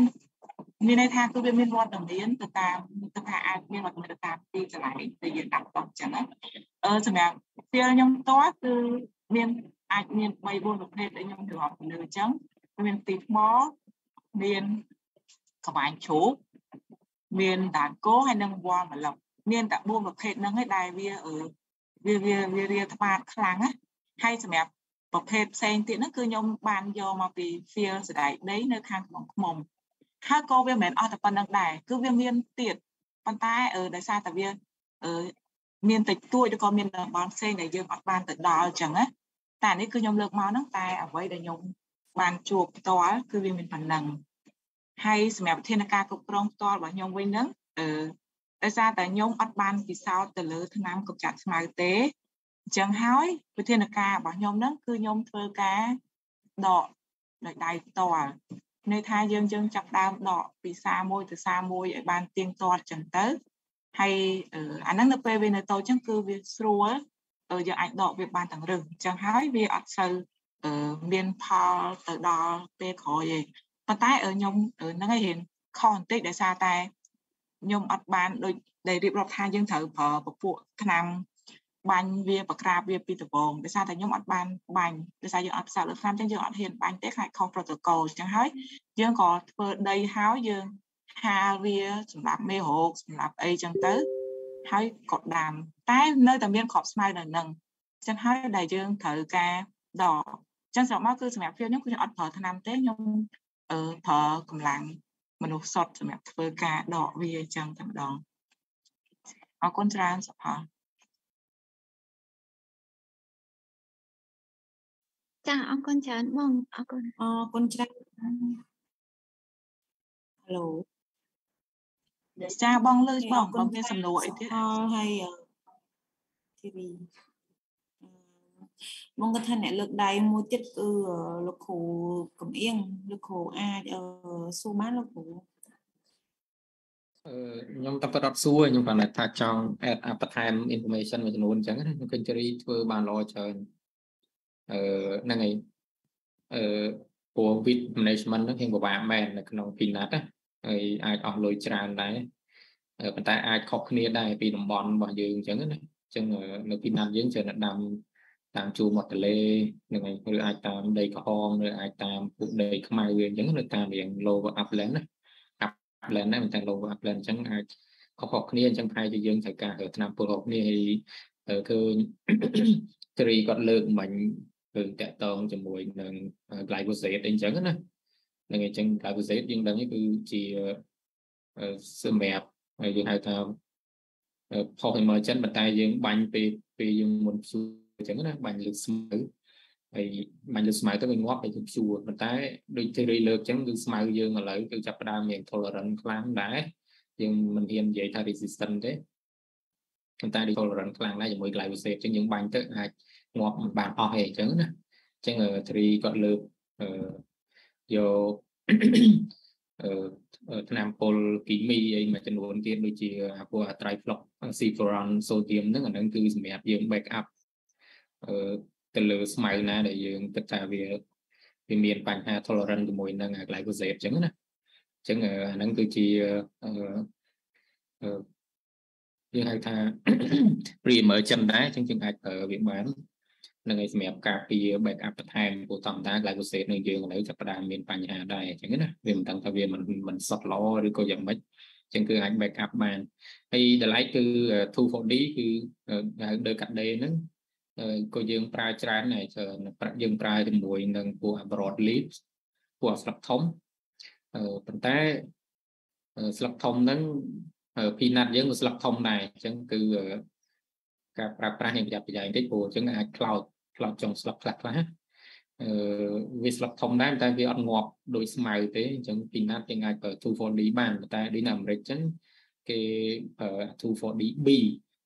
បើយើងត្រូវប្រើ 2,4D ធម្មតាអាចនឹង cloud អញ្ចឹងណាអញ្ចឹងយើងប្រហែលជាអាច search បន្ថែមអញ្ចឹងបើសិនជាណាចង់ដឹង 2,4D B ដែលខ្ញុំបានផ្ញើនៅក្នុង chat ហ្នឹងគូវាថែមទៅតាមបល័យមួយចំនួនដើម្បីបន្ថែមអឺមិនឲ្យងាប់ខ្លាំងទេប៉ុន្តែគ្រាន់តែថាឲ្យវា ការលូតលាស់នៅផ្នែកត្រួយហើយនៅចុងរឹសអញ្ចឹងគឺដើមស្មៅនោះគឺក្រិនតែម្ដងអញ្ចឹងណាអញ្ចឹងយើងប្រើក៏មិនប្រើចាំពេលស្មៅធំដែរគេប្រើនៅពេលដែលអឺផុសមកអញ្ចឹងមិនได้តបពីស្មៅដប់នៅតាមរងយើងទូទូយើងអាចបាញ់ទៅវាប្រហាក់អញ្ចឹងក៏អត់ធ្វើឲ្យអាស្លឹកអា peanut យើងខ្លោចមកអញ្ចឹងតែបើយើងបាញ់ 2,4D ធម្មតាអឺវាអាចនឹងខ្លោចហើយអាក់មករយៈដែរប៉ុន្តែស្លឹកធំផ្សេងទៀតគឺ គឺវាវាងាប់អញ្ចឹងណាហើយពិសេសទាំងទាំងពីរកន្លែងដីជួរមាត់ទន្លេយើងច្រើនមានពួកផ្ទីថ្មឲ្យច្រើនអញ្ចឹងណាហើយដីនៅតាមអឺតំបន់ណាដីក្រហមនិងដីខ្មៅយើងហៅ lower upland area ហ្នឹងអាចមានបញ្ហាពួកវល្លិហើយនឹងពួកនេះប៉ុន្តែផ្ទីថ្មក៏អាចមានខ្លះខ្លះដែរប៉ុន្តែមានពួកផ្ទីមានពួកស្លឹកធំផ្សេងទៀតចឹងអាហ្នឹងក៏អាចល្អដែរ អឺអាហ្នឹងមួយរឿងទៅអឺប៉ុន្តែក្នុងករណីខ្លះយើងមានបញ្ហាកបាញ់ជ្រូកអញ្ចឹងខ្ញុំខ្ញុំយើងមិនមិនគិតថាយើងបាញ់គ្រប់មុខទេណាយើងមើលខ្លួនឯងដែរក្បាញ់ជ្រូកគឺច្រើននៅតាមជួរមាត់ទន្លេអញ្ចឹងយើងប្រហែលអាចយកអាណាផ្សេងដែលត្រូវជាមួយនឹងក្បាញ់ជ្រូកវិញពួកស្លឹកធំអាចនឹងពួកស្មៅអាចនឹងមានមធ្យមទេអញ្ចឹងយើងក៏អាកក់ជាមួយក្បាញ់ជ្រូកដែលយើងបាញ់តាក់ទងជាមួយនឹងអឺអឺ pendimethalin pendimethalin pendimethalin ក៏នៅស្រុកយើងមានលក់ដែរអញ្ចឹងយើងអាចប្រើបានអញ្ចឹងអត់ប៉ះពាល់ដល់សដែកដីយើងទេអញ្ចឹងខ្ញុំដាក់ថែមមួយទៀតប៉ុន្តែខ្ញុំនិយាយនេះមិនលើកទឹកចិត្តឲ្យយើងប្រើថ្នាំពុលទាំងអស់ទេណាអញ្ចឹងឃើញគ្នាយើងលើកថាវិធីសាស្ត្រមិនព្យួរឬក៏មានកម្របដីមានអីប៉ុន្តែពីណាត់ជាដំណាំវិលជុំហើយតំបន់យើងមួយចំនួនធំដូចនៅជួរមាត់ទន្លេយើងអត់អាចប្រើកម្របដីបានទេ ដូចជានៅគ្នាយើងធ្វើទីពេញលីអីគាត់ធ្វើនៅនៅអឺនៅខាងរដ្ឋមណ្ឌលនៅបាត់ដំបងឬក៏នៅខាងអឺបុកខ្នោខាងចការលើហ្នឹងគឺអត់កើតទេពីព្រោះយើងអត់មានពេលកកន់ព្រោះទឹកស្រកឲ្យទៅកសិករចាប់5ដាំទុំខែ11ហើយខែ2ហ្នឹងគឺគាត់ប្រមូលផលអញ្ចឹងដីវានៅសើមអញ្ចឹងយើងអត់មាន space សម្រាប់ដាក់ខូបក្រប់ហើយធ្វើវិធីសាស្ត្រមិនព្យួរបាននៅកន្លែងហ្នឹងគឺដឹងតែព្យួរអញ្ចឹងណា ហើយมันអាច accommodate 2ក្របបានទេអញ្ចឹងបានមួយអញ្ចឹងណាបើមិនអញ្ចឹងទេគឺហួតដល់រដូវពោតវិញអញ្ចឹងដល់ខែ3ទៅជាងការអាចដល់រដូវពោតវិញអញ្ចឹងជួមាត់ទលេរៀងស្មុគស្មាញបន្តិចដែលយើងពិបាកអញ្ចឹងគឺនៅតែផ្លែជាជាតិបំផុតជាមួយឆ្នាំពលខ្លះតែកសិករក៏អាចប្រើ mechanical ដែរគ្នាយើងទៅ survey ហ្នឹងគឺអាចជួបបញ្ហាអាចជួបច្រើនអញ្ចឹងគាត់ព្យួររស់តាមរងគាត់ប្រើសាច់ប្រើអស់អញ្ចឹងជាង mechanical អញ្ចឹងគាត់ថាយើងយើងពូនគល់បដា យើងក៏ចាប់ស្មៅបានខ្លះដែរអញ្ចឹងគឺអាចនឹងជួយកាត់បន្ថយតែនៅខាងដីក្រហមវិញគឺត្រង់ដីធំកម្រឃើញគាត់ពូនគល់គាត់នៅតែប្រើឆ្នាំពុលអញ្ចឹងណាអញ្ចឹងយើងអាចឃើញមានស្លឹកចុងខ្លោចគាត់ខ្មៅខ្មៅតិចតួចចឹងគាត់ប្រើលើកាត់ដេអញ្ចឹងណានឹងអញ្ចឹងនឹងអឺអាចនេះឲ្យគាត់អាចលើកាត់ដេយើងអាចបូកជាមួយនឹងថ្នាំចាត់សត្វល្អិតហើយចំនួនទៀតក៏បានដែរដើម្បីក្នុងពេលហ្នឹងគឺយើងអាច control បានទន្ទឹមគ្នាទាំងម្ដងអញ្ចឹងណាហើយដល់ពេល ស្លឹកសណ្ដែកដីយើងចាប់ផ្ដើមដល់ដំណើរការរហូតចេញផ្កាគឺយើងជប់បាញ់ហើយពីព្រោះដោយកាត់ដេបាញ់ពេលចេញផ្កាអត់កើតទេប៉ុន្តែស្លឹកយើងក៏វា cover អាអាដី ground នឹងចិត្តដែរអញ្ចឹងណាអញ្ចឹងគឺស្មៅអាចមិនសូវជាចោតជាបញ្ហាទៀតទេអញ្ចឹងគឺយើងក៏ប្រោតទៅលើសត្វល្អិតហើយនឹងជំងឺវិញអញ្ចឹងណាដែលជំងឺពួក late leaf spot អឺអីហ្នឹងគឺចាប់ផ្ដើមចេញមកដំណាក់កាលឡើងចេញផ្កាហ្នឹង early អាចមាន early នៅអបតុយហើយក៏អាច តាម late leaf spot មួយមួយបណ្ដាយអញ្ចឹងណាអញ្ចឹងអឺឬក៏កន្លែងខ្លះក៏អាចចាប់ផ្ដើមមាន ras មានច្រេះលើដៃខ្លះខ្លះអាចច្រេះលើសរសៃដីណាច្រេះដាក់យើងហៅជំងឺច្រេះលើស្លឹកហ្នឹងហ្នឹងអញ្ចឹងខ្ញុំគាត់ថា combine ប៉ុណ្ណឹងហើយឃើញការីធ្វើបានល្អច្រើនហ្នឹងហើយគាត់ថាថែមព័ត៌មានខ្លះខ្លះដើម្បីវែងញែកបន្ថែមអញ្ចឹងប្រែលោកនេះយើងអាច take note ឬក៏យើងលើកគ្នាទៅវិញមកបានអញ្ចឹងបាទអរគុណច្រើនពិសេស ចាអរគុណច្រើនលោកគ្រូសម្រាប់ការចែកម្លែកហើយតាមការចែកម្លែករបស់យើងបានមកលោកគ្រូវាឃើញថាវិធីសាស្ត្រក្នុងការកម្ចាត់ស្មៅវាមានច្រើនវិធីសាស្ត្រហើយជាធម្មតា ការស្រាវជ្រាវធម្មតាយើងអត់លើកទឹកចិត្តក្នុងការប្រើប្រាស់ថ្នាំពុលប៉ុន្តែតាម condition ដែលលោកគ្រូលើកឡើងកន្លែងហ្នឹងយើងជិះឲ្យបានក្នុងការអត់ប្រើប្រាស់ថ្នាំពុលអញ្ចឹងវាត្រូវតែប្រើប្រាស់ថ្នាំពុលឬក៏យើងប្រើប្រាស់ក្នុងកម្រិតណាមួយហើយឬក៏យើងរើសរើសជ្រើសថ្នាំពុលណាដែលវាអត់ប៉ះពាល់ទៅលើតំណែងស្រែដីយើងអញ្ចឹងទៅប៉ុន្តែទោះបីជាក្នុងករណីខ្លះយើងត្រូវតែកន្លែងខ្លះក៏យើងមិនចាំបាច់ប្រើប្រាស់ហាំពុលយើងប្រើប្រាស់ក្នុងការដកវាបានតែធ្វើដោយដៃឬក៏អីហ្នឹងទៅឬក៏យើងប្រើប្រាស់ក្នុងការដាំវាឆ្លាស់ឬក៏ក្រប កម្របដីអីអញ្ចឹងទៅអាហ្នឹងវាតាមលក្ខខណ្ឌរៀងមានខ្លួនមិនដែរកន្លែងខ្លះដូចលើកគ្រូលើកឡើងគឺជិះមិនបានវាត្រូវតែប្រើអញ្ចឹងអឺក្នុងការដាំដុះឬការអនុវត្តការស្រាវជ្រាវវាពិបាកដែរក្នុងការខាងយើងត្រូវយើងត្រូវតែ apply method នេះមួយអញ្ចឹងវាមិនប្រកាសថាវាជោគជ័យអញ្ចឹងយើងមាន method ក្នុងការ apply ដើម្បីឲ្យអាការអ្វីដែលយើងសិក្សាហ្នឹងវាទៅជោគជ័យអញ្ចឹងណាអរគុណច្រើនលោកគ្រូអរគុណច្រើនធីរីក្នុងការចែកម្លែកបទពិសោធន៍ការស្រាវជ្រាវ ពាក់ព័ន្ធនឹងការគ្រប់គ្រងដំណាំស្មៅនៅលើដំណាំស្រេចដីចាអរគុណច្រើនបងអរគុណអ្នកនរគ្នាសម្រាប់ចូលរួមនៅថ្ងៃនេះ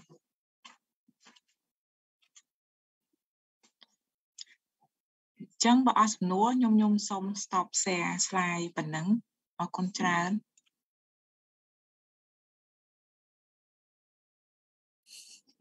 សំទោសនិយាយមិញអត់អត់បើកសំឡេងនិយាយម្នាក់ឯងអរគុណច្រើនធីរីសម្រាប់ការធ្វើបង្ហាញអញ្ចឹងបទបង្ហាញអឺអឺយើងកុំថាកុកចុងក្រោយយើងថាកូនពៅបទបង្ហាញកូនពៅអឺដែលគាត់នឹងធ្វើបទបង្ហាញ ពាក់ព័ន្ធនឹងការប្រើប្រាស់ថ្នាំពុលលើដំណាំស្ពៃក្តោបហ្នឹងអឺដែលធ្វើបង្ហាញដល់លោកសុកពេងនេះយើងមិញយើងបានសិក្សាពាក់ព័ន្ធនឹងរឿងដំណាំស្រែដីហើយយើងដឹងថាដំណាំស្រែដីហ្នឹងគេដាំមិនគេធ្វើមិនអីអីមិនហ្នឹងតាំងនៅស្រុកខ្មែរនិងនៅបរទេសអីចឹងទៅហើយបន្ទាប់មកធីរីគាត់បាន deep down តិចថា ចង់គ្រប់គ្រងស្មៅចង្រៃនៅលើតារាងខ្សែដីហ្នឹងមិនមែនតែឥឡូវយើងចូលវត្តប្រធានបទថ្មីមួយទៀតពាក់ព័ន្ធនឹងការប្រើប្រាស់ថ្នាំពុលម្ដងទៅលើដំណាំស្ពៃក្តោបប្រហែលជាអ្នកចូលរួមទាំងអស់គ្នាថ្ងៃហ្នឹងអាចចាប់អារម្មណ៍បន្តិចពីព្រោះខ្ញុំបើសិនជាខ្ញុំនិយាយក្នុងនាមជាខ្ញុំជា customer ស្មការអ្នកបានតែ consumer ទៅលើដំណាំស្ពៃក្តោបដំណាំស្ពៃក្តោបបើសិននិយាយទៅ ណាំពលច្រើនណាស់អត់ហ៊ានញ៉ាំទេទោះបីជាយើងយកទៅញ៉ាំយើងត្រូវតែលាងត្រូវសម្អាតឬក៏ឲ្យវាស្រួលតែអញ្ចឹងទៅយើងញ៉ាំឆៃអាចប៉ះពាល់សុខភាពអញ្ចឹងខ្ញុំគិតថាប្រធានបទថ្ងៃនេះវាល្អបានន័យថាលើកឡើងមកអូខេត្រូវដឹងថាប្រើវាមិនម៉េចយើងគួរថាម៉េចវាស្បែកក្តៅទាំងវាមិនមែនដូចយើងគិតឬក៏អីដែលយើងនេះទេអញ្ចឹងថ្ងៃនេះពេញលីសំទោសលីពេងគាត់នឹង deep down និង detail ឲ្យយើងថាការប្រើប្រាស់ថ្នាំពោទៅលើនឹង speak up ហ្នឹងវាមិនខ្លះហើយវាដូចយើងគិតរាល់ថ្ងៃនឹងអត់ឬក៏យ៉ាងណាដែរអញ្ចឹងអញ្ចឹងខ្ញុំសូមជូនវេទិកាហ្នឹងទៅដល់លីពេងដែលគាត់នឹងបកស្រាយទៅលើការប្រើប្រាស់ថ្នាំពោលើនឹង speak up ហ្នឹង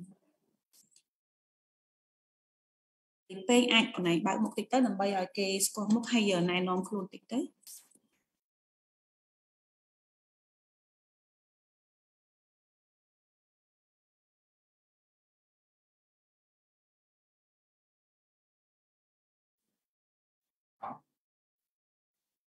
អូនិយាយឲ្យបាន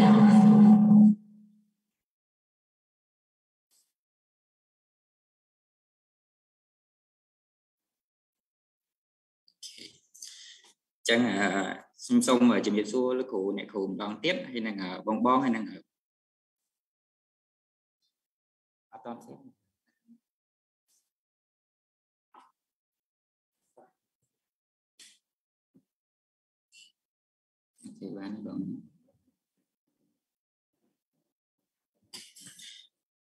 អត់តទៀតអូខេបានបងអឺខ្ញុំបាទឈ្មោះលីពេងហើយឥឡូវកំពុងតែបន្តការសិក្សាថ្នាក់ Master ទៅលើជំនាញក្រប Science ហើយថ្ងៃនេះខ្ញុំសូមធ្វើបទបង្ហាញអំពីការប្រើប្រាស់ថ្នាំពុលលើដំណាំស្ពៃក្តោបដែលដកចេញពីផ្នែកខ្លះនៅក្នុងសារណាប័ទ្មរបស់ខ្ញុំដើម្បីយកមកធ្វើការបទបង្ហាញ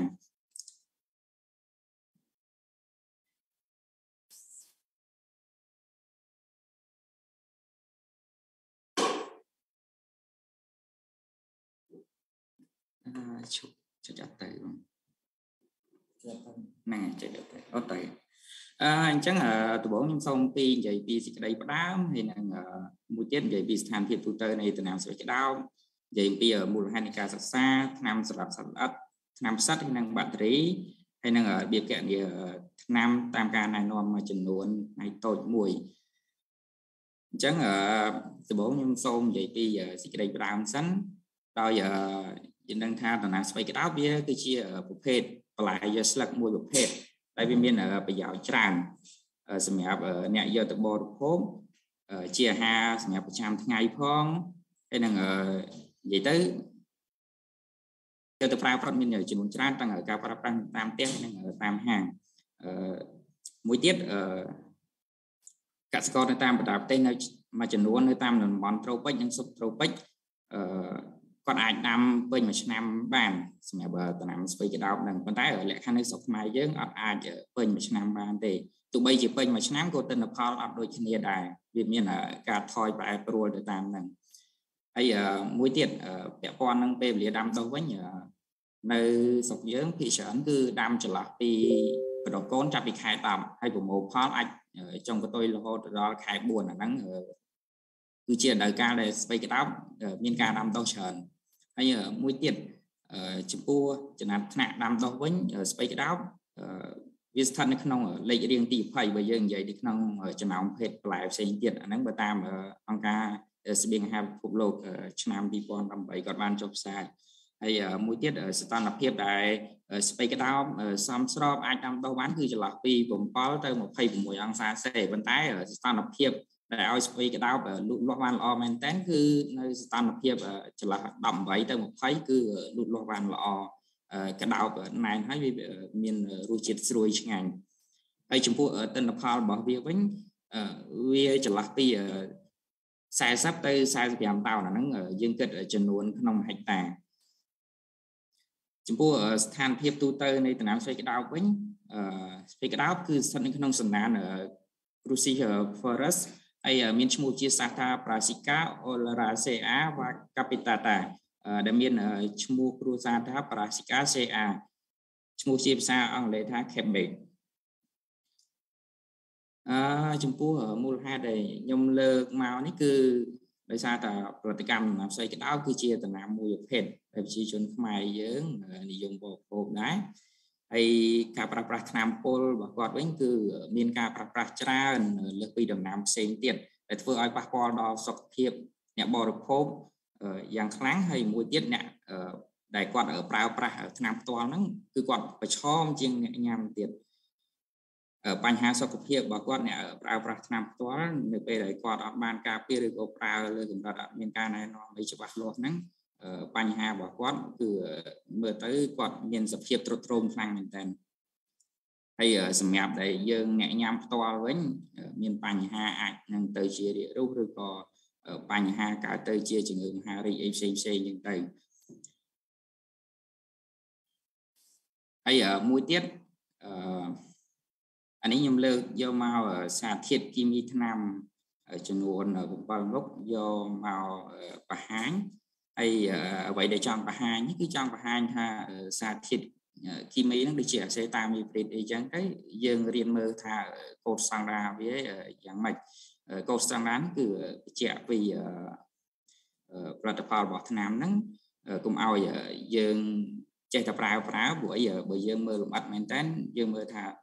រាល់ដងមើលទៅលើធាតុសកម្មតែអសេតាមីព្រីតថាយើងប្រើទៅលើតំណាំនេះទៅលើសត្វល្អិតនេះវាត្រូវ ប៉ុន្តែបើយើងមើលឲ្យលម្អិតមែនតើទៀតគឺយើងឆែករហូតដល់កូដស្តង់ដាទៀតដើម្បីបញ្ជាក់ច្បាស់ហើយនឹងមួយទៀតយើងនិយាយទៅលើភាពសុទ្ធភាពសុទ្ធហ្នឹងសម្រាប់សារធាតុគីមីថ្នាំយើងមើលអាហ្នឹងសម្រាប់ទៅយកកណនីទៅលើសារធាតុគីមីផ្សេងផ្សេងឧទាហរណ៍ដូចថាយើងយកទៅតេស្តចូលក្នុងអាបូដើម្បីរកសារធាតុគីមីពុលអីចឹងទៅដើម្បីវាជាលេខហ្នឹងយកទៅកណនីនៅក្នុងរូបមន្ត ដើម្បីរកសារធាតុគីមីពុលហ្នឹងថាវានៅសល់លើបន្លែមួយចំនួនហ្នឹងអត់អញ្ចឹងណាឧទាហរណ៍ថាដូចបន្លែស្វ័យក្តោបអីចឹងបើយើងចង់តេស្តរកសារធាតុគីមីពុលអីចឹងយើងត្រូវមានភាពសតហ្នឹងដើម្បីយកទៅធ្វើ calibration បន្ថែមទៀតបើយើងអត់មានទេគឺយើងកណនីអត់ចេញទេអញ្ចឹងអាហ្នឹងយើងមើលទៅលម្អិតប៉ុន្តែបើក្នុងសម្រាប់យើងមើលជាទូទៅសម្រាប់ឲ្យណែនាំដល់កសិករប្រើប្រាស់យើងមើលទៅត្រឹម សមាសធាតុគីមីឬក៏យើងហៅថាធាតុសកម្មតែប៉ុណ្្នឹងទេអឺមួយទៀតឥឡូវខ្ញុំចូលនិយាយដំបូងទៅពាក់ព័ន្ធទៅនឹងថ្នាំសម្រាប់សិលអិត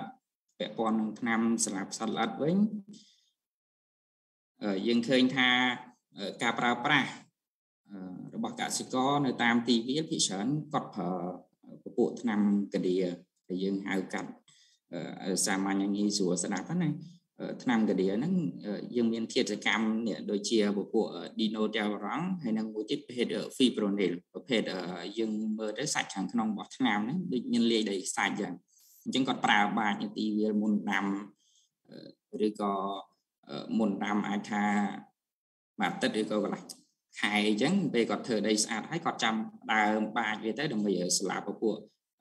សត្វល្អិតមួយចំនួននៅក្នុងដីប៉ុន្តែពពួកហ្នឹងប្រើទៅវា សារធាតុគីមីហ្នឹងគឺវាបសល់ទុកច្រើនអឺដោយសារតែវាប្រភេទជ្រាបទុកបានយូរហើយមួយទៀតអឺឆ្នាំដែលគាត់ប្រើបន្តបន្តបន្តពីដើមហើយឬក៏វគ្គបណ្ដោះកូនអីចឹងពីច្រើនគាត់ប្រើពពួកធាតុសកម្ម triclofon អឺដែលមានឈ្មោះអឺផលិតផលហ្នឹងឈ្មោះស៊ីលុចអីចឹងទៅហើយ ពីច្រើនធាតុកម្មហ្នឹងគាត់ប្រើហ្នឹងមិនមែនតែមួយមុខហ្នឹងឯងគាត់មានផ្សេងផ្សេងទៀតអញ្ចឹងខ្ញុំសូមបន្តទៅបង្ហាញទៅលើធាតុកម្មផ្សេងទៀតដូចជាពពួក fibronil fibronil មិញខ្ញុំនិយាយមិញជាប្រភេទគ្រាប់ប្រភេទជាម្សៅអញ្ចឹងណាសម្រាប់បាញ់លើដីអីចឹងទៅប៉ុន្តែ fibronil ហ្នឹងគេចម្រាញ់ចេញជាទឹកទៀតសម្រាប់បាញ់លើស្លឹកទៀតអីអញ្ចឹងកាលណាតែបាញ់លើស្លឹក កាលណាតែគាត់នៅពេលដែលយកទៅប្រើប្រាស់ហ្នឹងវាគៀកនឹងថ្ងៃប្រមូលផលទៀតអញ្ចឹងអាសារធាតុគីមីហ្នឹងវាបសល់ទុកកាន់តែខ្លាំងបន្ថែមមែនតែនហ្មងហើយបើសិនជាគាត់ប្រើឲ្យដឹងមុនថ្ងៃប្រមូលផលអាចថាយ៉ាងតិច14ថ្ងៃមុនប្រមូលផលគាត់ឈប់ប្រើហ្នឹងគឺវាថយសារធាតុគីមីនឹងច្រើនអាចមានសុវត្ថិភាពដល់អ្នកហូបប៉ុន្តែភាគច្រើនគឺអត់ចឹងទេអាចថាអឺ ជាទូទៅតាមខ្ញុំចុះសួរអេអឺហើយនឹងឃើញផ្ទាល់អឺភាគច្រើនពេលខ្លះ2ថ្ងៃក្រោយបាញ់ឆ្នាំគឺគាត់ប្រមូលផល3ថ្ងៃគាត់ប្រមូលផលហើយមានកសិករខ្លះថតពជាដល់មួយអាទិត្យអីចឹងទៅពីច្រើនមិនដែលបានដល់អឺពីសប្តាហ៍តាមការណែនាំរបស់អ្នកចែកទេឬក៏របស់ក្រុមហ៊ុនដែលគេដាក់ឲ្យទេអញ្ចឹងទៅវាធ្វើឲ្យប៉ះពាល់ដល់សុខភាពហើយមួយទៀត លើទីវាគាត់ច្រើនប្រើមួយទៀតរបស់ក្រុមហ៊ុនគោខ្មែរដែរពពួក Benfura Cup ដែលប្រើទៅលើពពួកចៃនិងសត្វល្អិតស្លាប់ហើយពួក fipronil មកហ្នឹងវាត្រូវពពួកតកៅហើយមូលហេតុអីបានគេប្រើពួក fipronil fipronil ដោយសារតាវាត្រូវប្រភេទតកៅហើយអាពួកប្រភេទតកៅស៊ីរោងដើមនេះទៀតដែរឆ្នាំហ្មងហ្មងដែលវាប្រភេទ systemic អីវិញវាបាញ់បើអត់ត្រូវវាវាអត់ងាប់ទេអញ្ចឹង fipronil អឺវាជាប្រភេទថ្នាំជ្រាបមួយដែលល្អហើយអញ្ចឹងទោះបីជាតកៅនឹងស៊ីរោងដើមបាញ់អត់ប៉ះមិនក៏វានៅតែប្រសិទ្ធភាពរបស់វា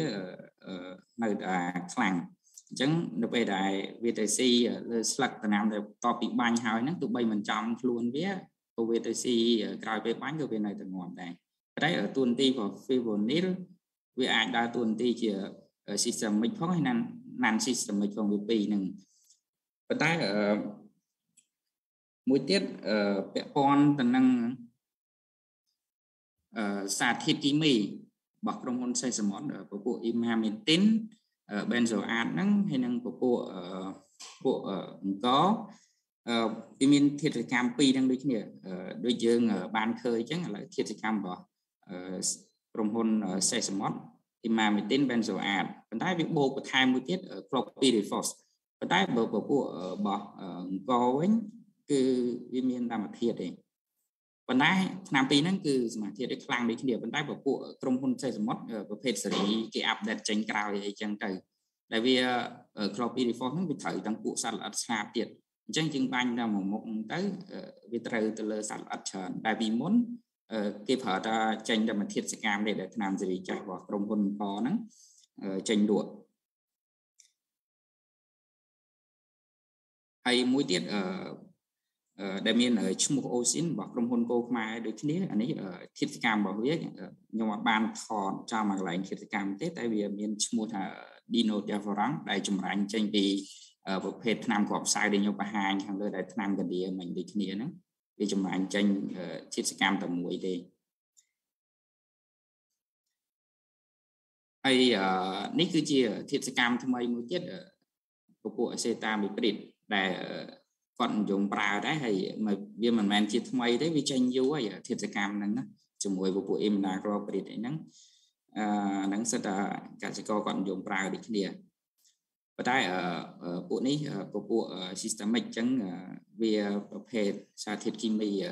រៀងពលខ្សោយជាងពពួក non systemic ខ្ញុំបង្ហាញខាងលើមិញហើយអឺនេះមួយទៀតគឺជាអឺខាងក្រុមហ៊ុនថ្នាំឈ្មោះរាយ៉ាងមួយទៀតធាតុកម្មរបស់វាឈ្មោះ Spinoteram ហើយវាប្រភេទត្រូវទៅលើសត្វល្អិត ដូចជាពពួកចៃ trip ពពួកមេអំបៅអីហ្នឹងអញ្ចឹងវាត្រូវទៅដូចនឹងអសេតាមីព្រីតដែរប៉ុន្តែវារៀងខ្ពស់ជាងពពួកអសេតាមីព្រីតបន្តិចហើយតម្លៃក៏វាថ្លៃជាងដែរគុណ2គុណ3ហ្នឹងអឺនេះគឺជាសត្វល្អិតដែលមានការបំផ្លាញទៅលើស្បៃក្តោបអានេះរូបភាពដែលខ្ញុំចុះ survey ខ្ញុំថតបានមកអញ្ចឹងអឺរូបភាពនេះអានេះគឺជាប្រភេទតកៅនៅលើទីវាហើយកសិករគាត់បានបើកបង្ហាញហើយបានថតជាមួយគាត់ហ្នឹងវាស៊ីពីបដូរឡើងអឺនៅខាងខេត្តបាត់ដំបងអាហ្នឹងគេហៅថាតកៅឆាប់យងអឺប៉ុន្តែនៅតាមតំបន់ផ្សេងទៀតអាចហៅផ្សេងពីហ្នឹងទៀត ប៉ុន្តែចង់អ្វីដែលចង់បង្ហាញគឺថាតកៅហ្នឹងគឺបំផ្លាញចេញពីបដូលអញ្ចឹងបំផ្លាញចេញពីបដូលលក្ខគណៈរបស់ស្វ័យក្តោបបើសិនជាវាបំផ្លាញស៊ីដាច់បដូរខ្លាំងហ្មងគឺចាប់ឲ្យក្នុងវត្តជីវិតរបស់វានឹងពីព្រោះអីស្វ័យក្តោបគឺរំពឹងលើបដូលបដូលរបស់វាហ្នឹងគឺចាប់ដើមលូតលាស់ចេញពីខាងក្នុងមកវិញពីស្ទាប់ខាងក្នុងមិនមែនចេញពីខាងក្រៅទេអញ្ចឹងបានន័យថា លក្ខណៈក្តៅគឺចេញពីខាងក្នុងតែបើសិនជាអស់ត្រួយអីហើយអាហ្នឹងវាអត់អាចទៅជាពិវត្តបានទៅជាក្តោបអីទៀតទេហើយនេះអឺចំការនៅទីវាលយើងឃើញថារូបអុចអុចនេះរូបអុចអុចនេះអានេះបានន័យថាធ្លាប់មានវត្តមានតកៅហ្នឹងបំផ្លាញពីមុនមកបំផ្លាញពីមុនមកហ្នឹងតាំងពីវគ្គនៅត្រួយដូចយើងបានឃើញអញ្ចឹងអានេះអឺ ស៊ីពីវគ្គត្រួយហ្នឹងប៉ុន្តែ នៅពេលដែលយើង control ឆ្នាំបានហើយនៅពេលដែលលាស់ត្រួយថ្មីមកក៏វានៅតែខូចស្លឹកដែរហើយបញ្ហាខូចស្លឹកហ្នឹងវាធ្វើឲ្យប៉ះពាល់ដល់ការធ្វើស្មីមយោគផ្សេងផ្សេងទៀតធ្វើឲ្យស្បៃក្តោបហ្នឹងវាលូតលាស់រៀងអត់តន់ទៅនឹងស្បៃក្តោបដែលមានស្លឹកដែលលូតលាស់ពេញល្អដែលអត់មានតកៅបំផ្លាញទេ ហើយយើងឃើញហើយថាទីវាលវាមានលក្ខណៈនៃការបំផ្លាញគឺមានលក្ខណៈច្រើនអញ្ចឹងហើយពិបាកនឹង control អញ្ចឹងស្បៃក្តោបនៅលើទីវាលវាខុសពីស្បៃក្តោបនៅក្នុងផ្ទះសំណាញ់គ្រាន់តែថាទីវាលថ្លៃដើមការផលិតវិញវាអស់ទាបប៉ុន្តែវាសវត្ថភាពចង់និយាយថាវាមានសារធាតុគីមូលគីមីពុលច្រើនជាងដាំនៅក្នុងរោងផ្ទះសំណាញ់ តែគ្រាន់ថាស្បៃក្តោបរោងផ្ទះសំណាញ់វាគ្រាន់តែតម្លៃខ្ពស់បន្តិច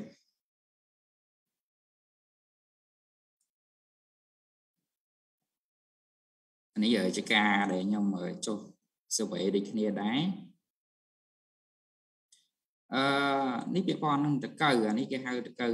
អង់គ្លេស army worm ហើយយើងហៅធម្មតាថាតកៅវងអឺតកៅវងនេះអានេះខ្ញុំចំលក្ខខណ្ឌក្នុងសាលា សម្រាប់ប្រសោតការងារផ្សេងប៉ុន្តែតកៅពួកហ្នឹងគឺបំផ្លាញលើស្បែកក្តោបដូចគ្នាហើយយើងយកមកសិក្សាសម្រាប់យកមកតេស្តបាញ់ថ្នាំអីចឹងណាតែគ្រាន់ថាវាមិនមែនចូលទៅក្នុងធានបတ်ដែលខ្ញុំសិក្សាចំទេអានេះវាផ្នែកផ្សេងមួយទៀត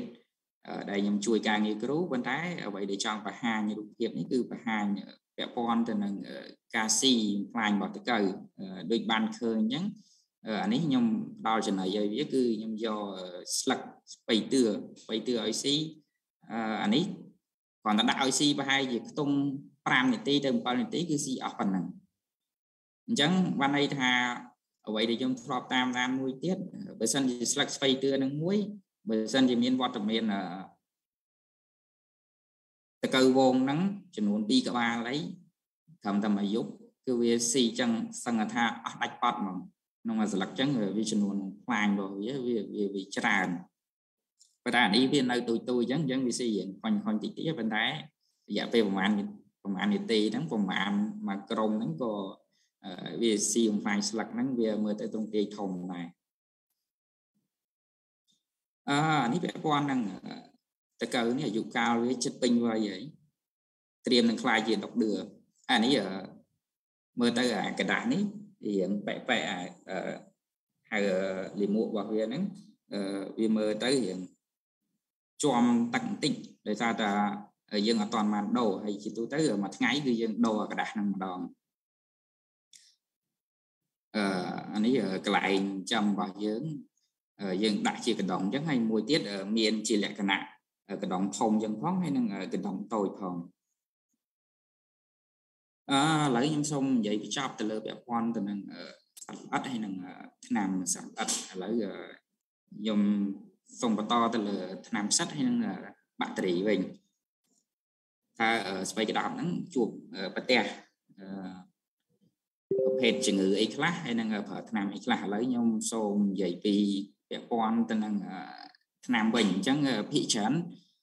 ស្បែកក្តៅកើតជំងឺពពួកបាក់តេរីវីលខ្លាំង ហើយផ្សិតនោះវិញក៏គូផ្សំទៅអមមួយគ្នាដែរពីហ្នឹងបដងផ្សំគ្នាតែគ្រាន់ថាបាក់តេរីវីលវាច្រើនជាងជំងឺផ្សិតហើយមួយទៀតធាតុកម្មដែលគាត់ច្រើនប្រើវិញនេះធាតុកម្មឈ្មោះថាកាស៊ូកាមីស៊ីនតែជំនាញរបស់វាហ្នឹងត្រូវទៅលើប្រភេទបាក់តេរីហើយអឺរូបពណ៌អសនេះអឺ មានរូបមនុស្សស្រីហ្នឹងអឺធាតុសកម្មរបស់វាឈ្មោះថា Mongozab ហើយនឹងដបនេះឈ្មោះថា Cabernet អញ្ចឹង Cabernet ឥឡូវខ្ញុំសូមបញ្យល់ពាក់ព័ន្ធទៅនឹង Mongozab សិន Mongozab ភាគច្រើនគឺត្រូវទៅលើផ្សិតច្រើនជំនាញរបស់វាហើយ Cabernet វាអាចត្រូវទាំងផ្សិតផងបាក់តេរីផងអឺនេះគឺជាជំនាញរបស់បាក់តេរីអឺបាក់តេរីមួយទៀតដែរឈ្មោះថា អឺស៊ីណាប់ហើយនឹងបូកនឹងកុបធាតុកម្មរបស់វានេះអឺដូចខ្ញុំបង្ហាញនៅលើចុងព្រួអញ្ចឹងមានទាំងបូកស៊ីណាប់ផងហើយនឹងកុបផងតែឆ្នាំហ្នឹងយើងប្រើត្រូវទៅលើពួកបាក់តេរីខ្លះដូចជាពួកលួយបដូលពីចុងបដូលមកមុនហើយនេះគឺជាធាតុកម្ម Mongozab ដែរប៉ុន្តែប្រភេទក្រុមហ៊ុនផ្សេង ក្រុមហ៊ុនផ្សេងដែលខ្ញុំបង្ហាញដែលមានរូបមនុស្សស្រីមិញប៉ុន្តែក្រុមហ៊ុននេះមានលក្ខណៈល្អជាងដោយសារក្រុមហ៊ុននេះនាំចូលមកពីខាងទូគីប៉ុន្តែប្រសិទ្ធភាពវិញវាបរំសងគ្នាដែរទេអឺមួយទៀតពាក់ព័ន្ធទៅនឹងទឹកស្អិតទឹកស្អិតវិញតំបន់នៃខ្ញុំចូលសវេពីច្រើនគឺប្រើពីមុខហ្នឹង ដបតូចនេះមួយដែរដបរបស់វាប៉ុនប្រហែលនឹងគោជលទេប៉ុន្តែចំនួនប្រើវិញតែ 2 cc ទៅ 3 cc ក្នុងទឹក20លីត្រទេប៉ុន្តែបើសិនជារូបមានស្លឹកឈូកនេះយើងអាចប្រើដល់ 10 cc ទៅដល់16អីចឹងទៅតែមួយទៀតខ្ញុំចែកម្លែកបទសោតមួយដែរពាក់ព័ន្ធទៅនឹងការប្រើទឹកស្អិតការប្រើទឹកស្អិត ឧទាហរណ៍ថាឥឡូវខ្ញុំនិយាយដើមពីដំបូងពីការប្រើប្រាស់របស់កសិករកសិករគាត់ប្រើអាចថា3មុខទៅ4មុខជាទូទៅគាត់ប្រើប៉ុណ្ណឹងហើយ3មុខទៅ4មុខហ្នឹងមានអីខ្លះគឺទូទៅគាត់បូកមានថ្នាំពុលថ្នាំផ្សិតអឺមួយទៀតថ្នាំពុលហ្នឹងគាត់បូកចូលហ្នឹងអាចនឹងស្ទួនធាតុកម្មគ្នាទៀតឧទាហរណ៍ថា អឺឥឡូវនៅក្នុងហ្នឹងពេលខ្លះឆ្នាំខ្លះធាតុសកម្មហ្នឹងវាមាននៅឧទាហរណ៍ថាអេម៉ាវីទីនវាមានអឺបូកជាមួយនឹងអសេតាមីព្រីតអញ្ចឹងខ្ញុំឧទាហរណ៍ហ្នឹងហើយដល់ពេលរបស់ក្រុមហ៊ុនផ្សេងវាមានធាតុកម្មហ្នឹងអាសេតាមីព្រីតសុតអីចឹងទៅអញ្ចឹងដល់ពេលគាត់បូកចូលពីហ្នឹងទៀតអញ្ចឹងវាស្ទួនស្នាមអាកតុយអាសេតាមីព្រីតខ្លាំងដែលវាគ្រោះថ្នាក់ហើយពេលខ្លះអឺ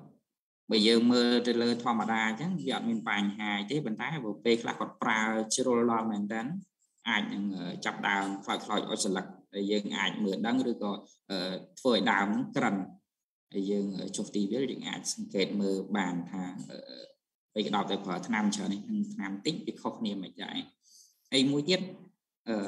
ចូលមកពាក់ព័ន្ធនឹងទឹកស្អិតវិញនៅពេលដែលគាត់ប្រើបូកចូលគ្នាខ្លាំងអញ្ចឹងហើយអញ្ចឹងវាកននឹងធាតុសកម្មគីមីហ្នឹងបញ្ចូលគ្នាច្រើនអញ្ចឹងនៅពេលដែលគាត់ប្រើទឹកស្អិតហ្នឹងបូកបញ្ចូលគ្នាថែមទៅទៀតអាទឹកស្អិតហ្នឹងវាកាន់ទៅជាប់នៅលើស្លឹកហ្នឹងខ្លាំងទៀតអញ្ចឹងបានតែជាប់កាន់ទៅយូរហើយពេលខ្លះវិញគាត់ប្រើឲ្យក្រិនដំណាំហ្នឹង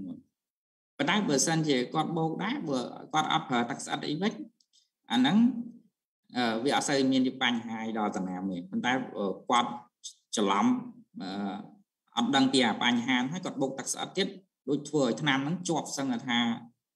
លើស30%នៃថ្នាំដែលបាញ់អញ្ចឹងវាវាឡើងចំនួនហ្នឹងអឺកើនឡើងទ្វេអឺហើយមួយទៀតមិនថាខ្ញុំធ្លាប់ជួបកសិករខ្ញុំធ្លាប់ប្រើខ្លួនឯងដែរអានេះចែកម្លែកបទផ្សោតមួយដែលធ្លាប់ជួបផ្ទាល់អឺខ្ញុំធ្លាប់បាញ់នៅលើតំណាំ អឺកាលនោះខ្ញុំប្រើតែមកធាតុសកម្មឯងប៉ុន្តែនៅពេលដែលខ្ញុំប្រើអឺបុកទឹកស្អិតបញ្ចូលហើយយើងបាញ់លក្ខណៈជោគល្អធម្មតាដូចជាទូទៅយើងម៉ាច់តាបាញ់ចន្លោះពី8ធុងទៅ10ធុងប៉ុន្តែគ្រាន់តែបូកទឹកស្អិតពុបអឺវាធ្វើឲ្យតំណាំរបស់យើងនឹងចាប់ដើមខ្លោចស្លឹកហ្មងហើយកាលហ្នឹងយើងប្រើលើកដំបូងឃើញបញ្ហាហ្នឹង វាជាការចាប់អារម្មណ៍មួយរបស់យើងដែរហើយអាហ្នឹងយើងមិនមែនថាដើរត្រឹមឃើញរបស់កសិករអាហ្នឹងយើងគិតថារបស់ខ្លួនឯងប្រើមកធាតុសកម្មផងវាប៉ុណ្ណឹងចុះល្មមកសិករគាត់ប្រើ3ធាតុសកម្មអញ្ចឹងយើងគុណមើលទៅថាវាកនប៉ុណ្ណាអញ្ចឹងណាអឺនេះគឺជារូបភាពអឺរូបភាពពពួកជំងឺបាក់តេរីវាលដែលកើតលើស្ពៃក្តោប ហើយការកើតបាក់តេរីវាលលក្ខណៈសម្គាល់របស់វាយើងអាចថាវាធំរៀងជាលក្ខណៈឆ្អាមហើយនឹងមួយទៀតវារៀងតាយជាងជំងឺផ្សិតបើជំងឺផ្សិតវាកើតមករោគសញ្ញាអាចមើលទៅថាស្រដៀងគ្នាមែនតែជំងឺផ្សិតវាអត់មានក្លិនឆ្អាបទេអាហ្នឹងយើងអាចបែងចែកផ្សិតហើយនឹងបាក់តេរីបានទៅលើពីរហ្នឹងអឺ មួយទៀតខ្ញុំសូមនិយាយពីរបៀបនៃការកណនីឆ្នាំបើសិនជាយើងចង់ឲ្យការកណនីឆ្នាំវាត្រូវចំនួនដុសតាមការណែនាំរបស់ក្រុមហ៊ុនអញ្ចឹងអឺអឺដូចខ្ញុំមកទឹកសេចូលមកអញ្ចឹងនេះដាក់ជារូបមន្តមួយអញ្ចឹងទៅដើម្បីឲ្យងាយស្រួលយល់អញ្ចឹងយើងត្រូវរកចំនួនឆ្នាំឧទាហរណ៍ថាឥឡូវយើងចង់រកចំនួនឆ្នាំដែលប្រើប្រើជាក់ស្ដែងអញ្ចឹងយើងត្រូវយកចំនួនឆ្នាំដែលត្រូវប្រើនោះ យកទៅគុណនឹងចំនួនទឹកប្រើជាក់ស្ដែងហើយយកមកចែកនឹងចំនួនទឹកណែនាំពីក្រុមហ៊ុនដែលបានណែនាំឲ្យយើងប្រើហ្នឹងអឺបានយើងអាចរកសមាធិឆ្នាំដែលត្រូវប្រើបានហើយការប្រើហ្នឹងអឺគឺយើងសំដៅទៅលើនេះបរិមាណដែលក្រុមហ៊ុនគេណែនាំហ្នឹងឧទាហរណ៍ថាឥឡូវអានេះជាប្រភេទម្សៅគេប្រាប់ថាប្រើ50ទៅ60ក្រាមក្នុងធុងទឹក16លីត្រ ប៉ុន្តែជាទូទៅយើងប្រើធុងចំណុះ20លីត្រយើងអត់អត់ប្រើ16លីត្រទេអញ្ចឹងបើសិនជាប្រើ16លីត្រដើម្បីឲ្យបានកណនីឆ្នាំហ្នឹងថាត្រូវដេញឡើងប្រហែលអញ្ចឹងយើងដាក់ប្រើមកយើងចូលជុះលេខចូលមកយើងយកចំនួនប្រើដែលទៀបបំផុតអញ្ចឹងរបៀបប្រើយ៉ាងណាគឺយើងកុំប្រើពីខ្ពស់មកទៀបយើងប្រើពីទៀបទៅខ្ពស់មុនការប្រើប្រាស់ថ្នាំដែលល្អ អញ្ចឹងយើងយក50ក្រាមយកទៅកូននឹងចំនួនទឹកដែលខ្ញុំប្រើជាក់ស្ដែងគឺ20លីត្រ20លីត្រនេះហើយខ្ញុំយកទៅចែកនឹងចំនួនទឹកដែលក្រុមហ៊ុនគេណែនាំ16លីត្រអញ្ចឹងថ្នាំហ្នឹងវាត្រូវកើនដល់12.5ក្រាមអញ្ចឹងអ្វីដែលយើងអត់បន្ថែម12.5ក្រាមបូកចូលគ្នាតើអស់62.5ក្រាមនេះហើយមួយទៀតហេតុអីបានខ្ញុំ ដាក់របៀបការកណនីនេះចូលពួកអីជាធម្មតាខ្ញុំអាហ្នឹងជាចំណុចមួយខ្ញុំឃើញបញ្ហាច្រើនដែរទីវាលហើយនឹងជាធម្មតាដេប៉ូប្រាប់ណែនាំទៅកសិករឧទាហរណ៍ថាឥឡូវកសិករសួរថាឥឡូវគ្រូឆ្នាំនេះត្រូវលាយចំនួនប្រមាណដើម្បីឲ្យត្រូវអញ្ចឹងឧទាហរណ៍ឆ្នាំសិតជាទូទៅគាត់ប្រាប់ថា2លឹកព្រាអញ្ចឹង2លឹកព្រាយើងខ្លឹងមើលអស់ខ្ទង់ថាអឺ10ក្រាមជាង5 10ក្រាមហ្នឹងបើយកមកគុណមើលព្រាបាយ ហើយដល់ពេលសាច់ប្រើជាក់ស្ដែងបើយើងគិតមើលទៅអត់គ្រប់ដុសទេអញ្ចឹងជាក់ស្ដែងត3លឹកព្រាទៅ4លឹកព្រាឯនោះបានគ្រប់អញ្ចឹងអាហ្នឹងវាធ្វើឲ្យប្រសំទៅនឹងសារធាតុថ្នាំទៅលើដំណាំដែរហើយពពួកថ្នាំផ្សិតហ្នឹងវាអត់ទៅបញ្ហាអីហ្មងខ្លាំងជាងគេពួកថ្នាំពុលពួកថ្នាំពុលបើយើងអឺចេះតែប្រាប់ប្រាប់ទៅហើយគាត់ វល់សិតតែកម្របដបអីចឹងគាត់ថាឥឡូវយកទៅដល់វល់តាមមកកម្របទៅត្រូវឯអាចំនួនមីលីលីត្រអីហ្នឹងលេងទៅដល់ទៅមើលរបស់ត្រូវប្រើតាម 20cc ទេលេងស្រាប់តែវល់កម្របដបលេងឡើងដល់ 30cc ទៅ40អញ្ចឹងវាបញ្ហាកាន់តែខ្លាំងទៀតណាហើយរបៀបនៃការកណនានេះយើងអាចកណនាបានតាំងចំនួនឆ្នាំដែលគិតជាប្រភេទម្សៅហ្នឹងហើយនឹងឆ្នាំប្រភេទទឹក អាចគិតជាសេសេអញ្ចឹងយើងអាចកណនាតាមប្រភេទហ្នឹងបានហើយការកណនាប្រភេទនេះវាប្រភេទដែលកណនាលឿនសម្រាប់យើងដើរទីវាលអីចឹង apply កសិករអីចឹងគឺប្រើប្រាស់លឿនស្បែកខ្ញុំប្រើផ្ទាល់ខ្លួនឯងគឺខ្ញុំប្រើទៅតាមហ្នឹងដែរយើងអត់កណនីទៅដល់កំហាប់អីទៀតទេព្រោះយូកាអញ្ចឹងណាអញ្ចឹងភាគច្រើនក្រុមហ៊ុនគេដាក់មកណែនាំហើយយើងយកតែលេខដែលក្រុមហ៊ុនគេណែនាំយកមកកណនីទៅយើងដឹងពីវិធីប្រើហើយ អឺអញ្ចឹងការបត់ធ្វើបទបង្ហាញរបស់ខ្ញុំខ្ញុំសូមបញ្ចប់តែប៉ុណ្ណឹងអញ្ចឹងអឺគ្រូអ្នកគ្រូហើយនឹងបងបងបងប្អូននៅក្នុងកម្មវិធីនេះមានចម្ងល់អីអាចសួរមកខ្ញុំបានហើយតំណែងដែលខ្ញុំចេះអាចឆ្លើយបានខ្ញុំឆ្លើយហើយតាណាដែលអាចអត់ដឹងទេអាចសុំជាក់សិនដោយសារថាมันអាចចេះទាំងអស់ទេទៅលើផ្នែកហ្នឹងដោយសារថាដឹងផ្នែកតូចដែរនៅក្នុង ពាក់ព័ន្ធទៅនឹងរឿងឆ្នាំអីចឹងណាអញ្ចឹងបើសិនជាការ present មានការលេះលុះអីសូមកុំមានការប្រកាន់អីសូមអរគុណច្រើន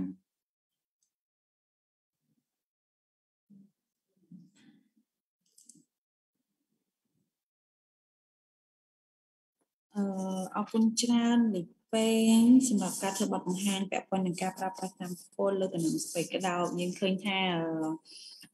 មុនហ្នឹងគេប្រើវិធីសាស្ត្រច្រើនក្នុងការគ្រប់គ្រងសត្វអត់ឬក៏ ស្មៅចង្រៃអីអញ្ចឹងណាប៉ុន្តែឥឡូវនេះយើងឃើញវិធីសាស្ត្រមួយទៀតក្នុងការប្រើប្រាស់ថ្នាំពុលហើយ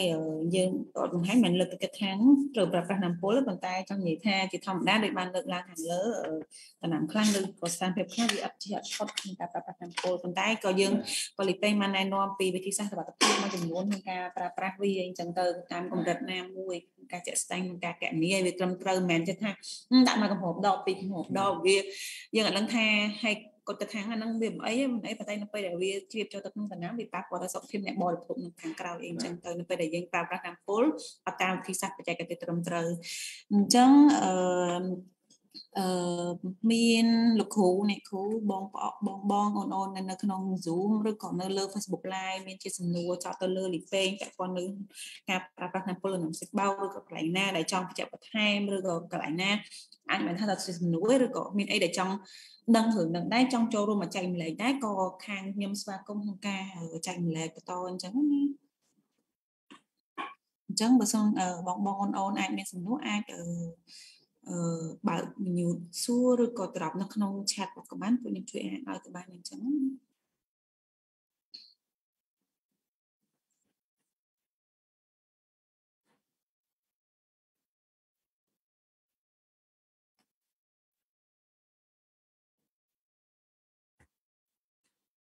ចឹងខ្ញុំអឺគិតថាប្រហែលជាគ្នាយើងអត់មានសំណួរ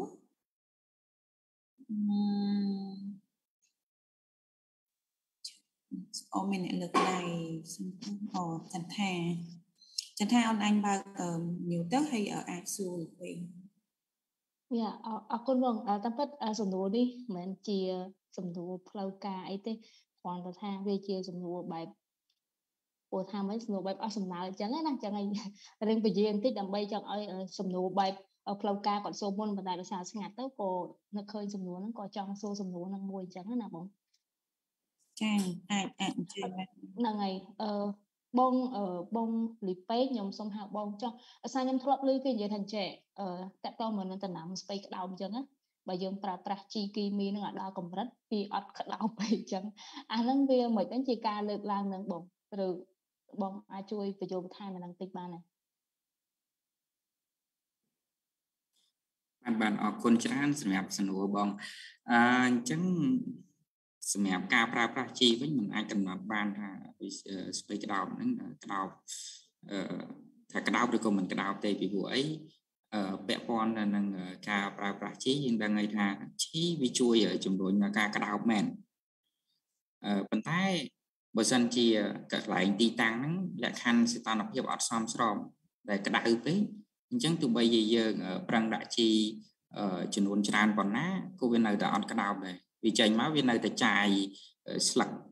វាវានៅតែស្លឹកចេញមករាយរាយវាអត់នៅព្រមក្តោបប៉ុន្តែបើនៅតំបន់ត្រជាក់ទោះបីជាជីបន្តិចមិនក៏នៅតែក្តោបបានល្អដែរប៉ុន្តែជីវានៅតែដើរតួនាទីសំខាន់យើងចោលអត់បានទេនិយាយរឿងជីមួយយើងត្រូវតែដាក់ ព្រោះអីជីវាពាក់ព័ន្ធអឺឧទាហរណ៍ថាតំបន់ហ្នឹងវាសមស្របអីសមស្របហើយអឺបើមានជីបន្ថែមឲ្យទៀតអញ្ចឹងបានន័យថាទិន្នផលហ្នឹងវាបានកើនឡើងហើយរសជាតិក៏វាកើនដែរអញ្ចឹងជីវានៅមានសារៈប្រយោជន៍សារៈប្រយោជន៍ច្រើនប៉ុន្តែបើសិនជាតំបន់សន្តានភាពតែក្តៅហើយទោះបីជាយើងប្រឹងកែរឿងជីបណ្ណាក៏ដោយក៏វានៅតែអត់រួច អញ្ចឹងសម្រាប់សំណួរខ្ញុំបងបងអាចទួលយកបានទេបងចាអរគុណហ្នឹងហើយបងអរគុណទទួលបាន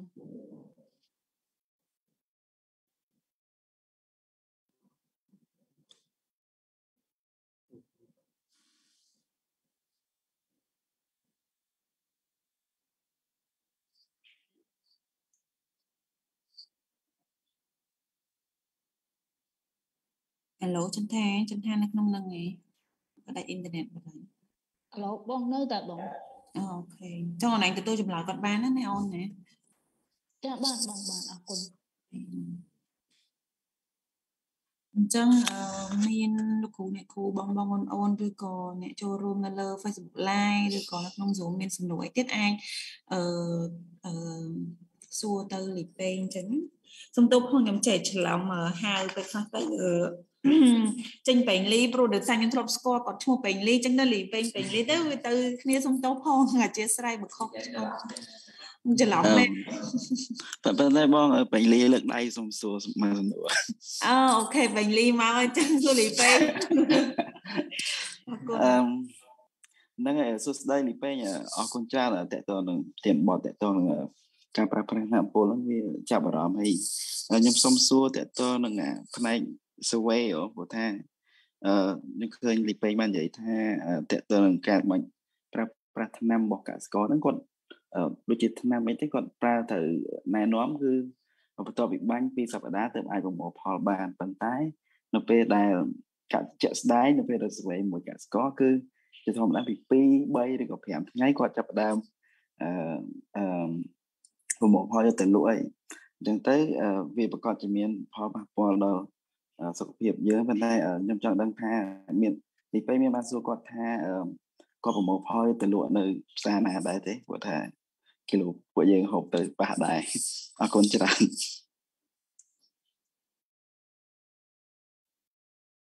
បាទសួស្តីបងហើយអរគុណច្រើនសម្រាប់សំណួរបងហើយ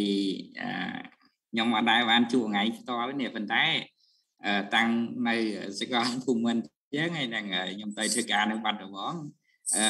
តែគេច្រឡំថ្ងៃទាំងខ្ញុំនៅសាលានេះផងទាំងទៅនោះបងគេច្រឡំពេលីនិងលីពេងអេអញ្ចឹងចាំមើលថ្ងៃណាមួយអាចនឹងជួបបងហើយព្រោះអីឮថាបងឥឡូវដូចជានៅក្នុងសាលាដែរអូខេអញ្ចឹងឥឡូវខ្ញុំសូមឆ្លើយចូលសំណួរអឺពាក់ព័ន្ធទៅនឹងស្បៃក្តោបវិញខាងបាត់ដំបងពីច្រើនប្រមូលចូលទៅនឹងផ្សារពូពុយហើយផ្សារពូពុយបោះដុំចែកចាយទៅនឹងខេត្តផ្សេងផ្សេងទៀត ហើយពូពុយបោះចូលទៅនឹងផ្សារតូចតូចនៅក្នុងខេត្តបាត់ដំបងផងហើយនឹងពេលខ្លះបោះដុំចូលហ្នឹងដឹកទាំងឡាន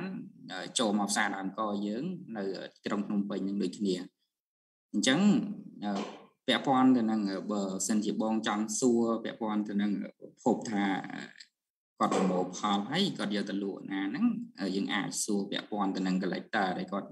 ជាអ្នកប្រមូលទិញហ្នឹងសួរបន្តមកតែគាត់ឧទាហរណ៍បើយើងចង់ធ្វើយកនៅពេញយើងអាចថាជើងឡានណាដែលមកយើងយកលេខទូរស័ព្ទតាក់ទងមកអាចបានពីព្រោះយើងទៅយកនៅផ្សារពុយនៅបាត់ដំបងផ្ទាល់ក៏បានដែរអរគុណច្រើនបងសម្រាប់សំណួរនឹងនឹងឯងអរគុណលីពេងមួយទៀតតើតើនឹងអាឆ្នាំដែលគាត់ប្រើហ្នឹងមានអាឆ្នាំណាដែលគេហាមឃាត់សម្រាប់សម្រាប់នៅក្នុង list របស់អា WHO ហ្នឹងដែលវាអាច មានគ្រោះថ្នាក់ដល់សុខភាពយើងខ្លាំងអញ្ចឹងគាត់មានប្រើឆ្នាំដែរវាដែលគេហាមឃាត់ហ្នឹងអឺអធិស្ឋានបងខ្ញុំសូមសំណួរបងសាថ្មីស្ដាប់ឲ្យចុងកតុយមិនអត់សូវបានបន្តិចបងហ្នឹងហើយមួយទៀតចង់ដឹងថាអាឆ្នាំដែលគាត់ប្រើប្រាស់ទៅលើបាញ់សម្រាប់ sell up ផ្សេងផ្សេងទៅលើប្រតិកម្មអឺទាំងអំស្វ័យក្តាប់ហ្នឹងគឺគាត់មានបានប្រើឆ្នាំអឺ មួយមុខណាដែលគេហាមឃាត់ឲ្យប្រើប៉ុន្តែគាត់នៅតែប្រើដោយសារតែអឺគាត់ថាឆ្នាំហ្នឹងវាមានប្រសិទ្ធភាពខ្លាំងជាងគេឲ្យប្រើអញ្ចឹងមានមានតែអត់បាទបងបាទបងពាក់ព័ន្ធទៅនឹងចំណុចហ្នឹងខ្ញុំឃើញមានខ្លះដែរមិនអត់ទេពួកអឺជាពិសេសពួក D method D method ពួកឆ្នាំហ្នឹងចេញមករាប់ឆ្នាំហើយគេត្រូវ ban ចោល ពីក្នុងអាយរ៉ាអីប៉ុន្តែគាត់ថានៅនៅមានដែលឆ្នាំហ្នឹងភាគច្រើនគឺនាំកិច្ចពន្ធចូលពីថៃមកប៉ុន្តែបើក្រុមហ៊ុនស្របច្បាប់នៅខ្មែរយើងគឺអត់មានបណ្ណាហ៊ានលក់ទេអញ្ចឹងអ្វីដែលគាត់ទទួលបានការប្រើប្រាស់នោះគឺភាគច្រើនគឺគាត់ទិញឆ្នាំកិច្ចពន្ធមកពីខាងថៃដោយសារឆ្នាំថៃវាចេញមកសុទ្ធសុទ្ធអញ្ចឹងទៅគាត់តែងតែមានតែទំនោរប្រើទៅខាងហ្នឹងអញ្ចឹងណាបង អឺប៉ុន្តែអ្វីដែលយើងជួបគាត់ផ្ទាល់នឹងចែកម្លែកពីបទសោតខាងខ្ញុំវិញខ្ញុំតែងតែប្រាប់គាត់ដែរឲ្យប្រើក្រុមហ៊ុនដែលមានឈ្មោះចុងជីកាយត្រឹមត្រូវទៅពីព្រោះអីយើងក្រុមហ៊ុនចុងជីកាត្រឹមត្រូវអីគេមានរបៀបប្រើប្រាស់ជាអក្សរខ្មែរអីច្បាស់លាស់ហើយនឹងអឺពាក់ព័ន្ធទៅនឹងក្រសួងអីគេតែងតែចុះបណ្ឌិតមើលវិហួរ delay ដែរអត់ចឹងណាហើយវាមានដាក់ឲ្យគាត់ស្រួលមើល អញ្ចឹងទៅខ្ញុំតែងតែលើកទឹកចិត្តគាត់ឲ្យប្រើនៅក្រុមហ៊ុនស្រុកដែលនាំចូលនៅស្រុកខ្មែរជាងអញ្ចឹងបងអូខេអរគុណបងបាទបាទអរគុណច្រើនពេញអរគុណច្រើនពេញលីសម្រាប់សំណួរហើយលីពេងសម្រាប់ការបកស្រាយបន្ថែមអញ្ចឹងណាប៉ុន្តែនៅលើនេះឃើញអឺមានដូចជាសំទោសខ្ញុំមើលនេះឃើញដូចជាចន្ទថាសួរសំណួរបន្ថែមហើយចន្ទថាអនឡាញលើកដៃអាចសួរបន្ថែមទៀតបានបង ចាបងខ្ញុំសូមភ្ជាប់ជាមួយនឹងសំណួររបស់ពេញលីបន្តិចតែសួរទៅលើលីពេងអឺហ្នឹងហើយដូចយើងដឹងហើយអឺ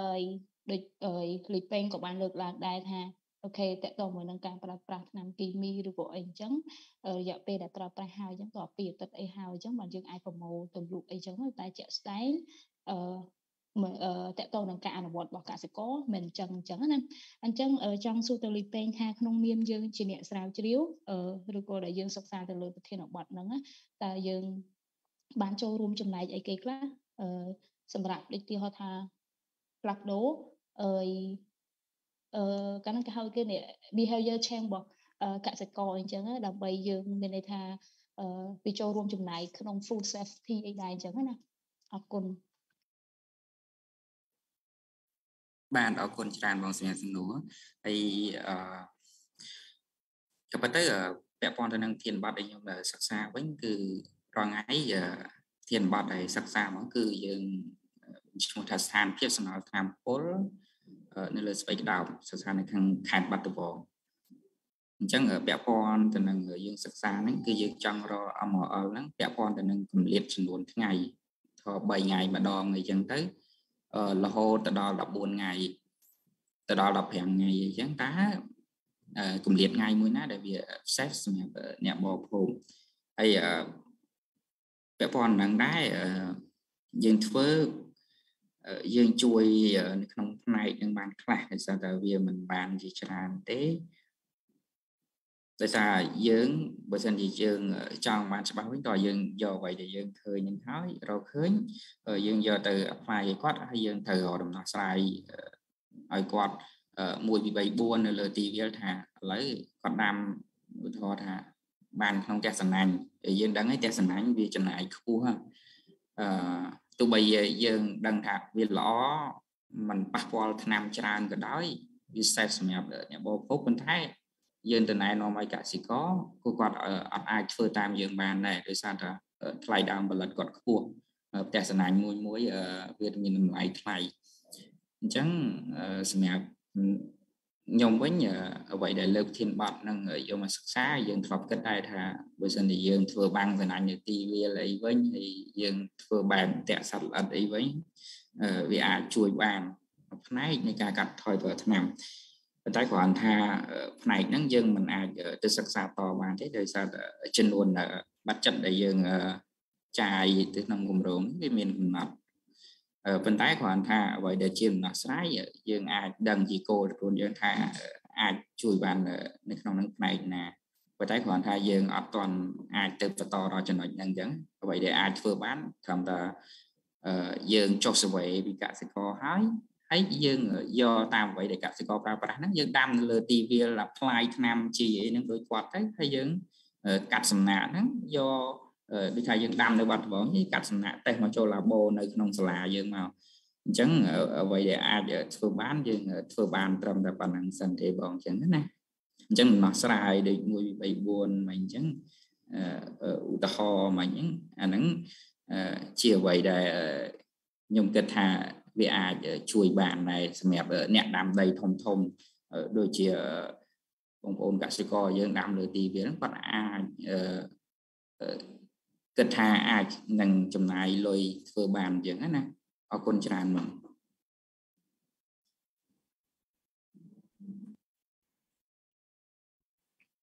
អរគុណច្រើនលីពេងសម្រាប់អឺចម្លើយហើយចន្ទថាសម្រាប់ការសួរបញ្ជាក់បន្ថែមអញ្ចឹង ជប់នៅក្នុងនេះអូខេពេញលីមានអីសួរបន្ថែមអូនអាចសួរបានបាទបាទអរគុណបាទខ្ញុំសួរភ្ជាប់ទៅសំណួររបស់ចន្ទថាទៅទៅនឹងបញ្ហាហ្នឹងគឺចង់សួរលីពេងថាអឺតើតើនឹងឆ្នាំកសកម្មហ្នឹងយើងដឹងថាវាបញ្ហាប៉ុន្តែអឺប្រកាសជាមានស្ថាប័នពាក់ព័ន្ធមួយចំនួនក៏គាត់ដឹងពីបញ្ហាហ្នឹងដែរលីពេងបានសិក្សាពីស្ថាប័នដែលគាត់ពាក់ពាក់ព័ន្ធដូចជា ក្រសួងឬស្ថាប័នផ្សេងផ្សេងដែលគាត់បានព្យាយាមរកដំណោះស្រាយទៅលើបញ្ហាហ្នឹងដែរអត់ឬក៏យើងអាចព្យាយាមទៅសហការមួយពួកគាត់ដើម្បីស្វែងរកដំណោះស្រាយមួយរួមដែរអត់ហ្នឹងហើយអរគុណបាទបងពាក់ព័ន្ធទៅនឹងស្ថាប័នដែលយើងគិតថាដែលអាចដំណោះស្រាយបានហ្នឹងរាល់ថ្ងៃបើយើងគិតថាស្ថាប័នធំគឺ ខាងក្រសួងឯប៉ុន្តែក្រសួងធម្មតាយើងបើនិយាយពីដំណើរការវិញអត់សូវដូចវិស័យឯកជនទេវិស័យឯកជនបើសិនជាមានការចុះបរិញ្ញាអីដល់កសិករអញ្ចឹងវាមើលទៅអឺចង់និយាយថាវាមានលបឿនលឿនដើរលឿនជាងខាងក្រសួងថាបានរដ្ឋយើងណាហើយនឹងមួយទៀតពាក់ព័ន្ធទៅនឹងអង្គការ អង្គការក៏គាត់ជួយកសិករបានច្រើនហើយជាក់ស្ដែងខ្ញុំធ្លាប់ធ្វើការនៅក្រុមហ៊ុនក្របពូជផ្លែ Specific នៅក្នុងក្រុមហ៊ុនខ្ញុំហ្នឹងពួកគេមិនលក់តែក្របពូជមកដែរគេមានទាញជាគម្រោងសម្រាប់ជួយដល់អ្នកបច្ចេកទេសជាប្រចាំឆ្នាំអញ្ចឹងណាហើយគេចុះទៅជួយដល់កសិករហ្នឹងអឺជួយតាំងពីការប្រើប្រាស់ថ្នាំរៀបចំ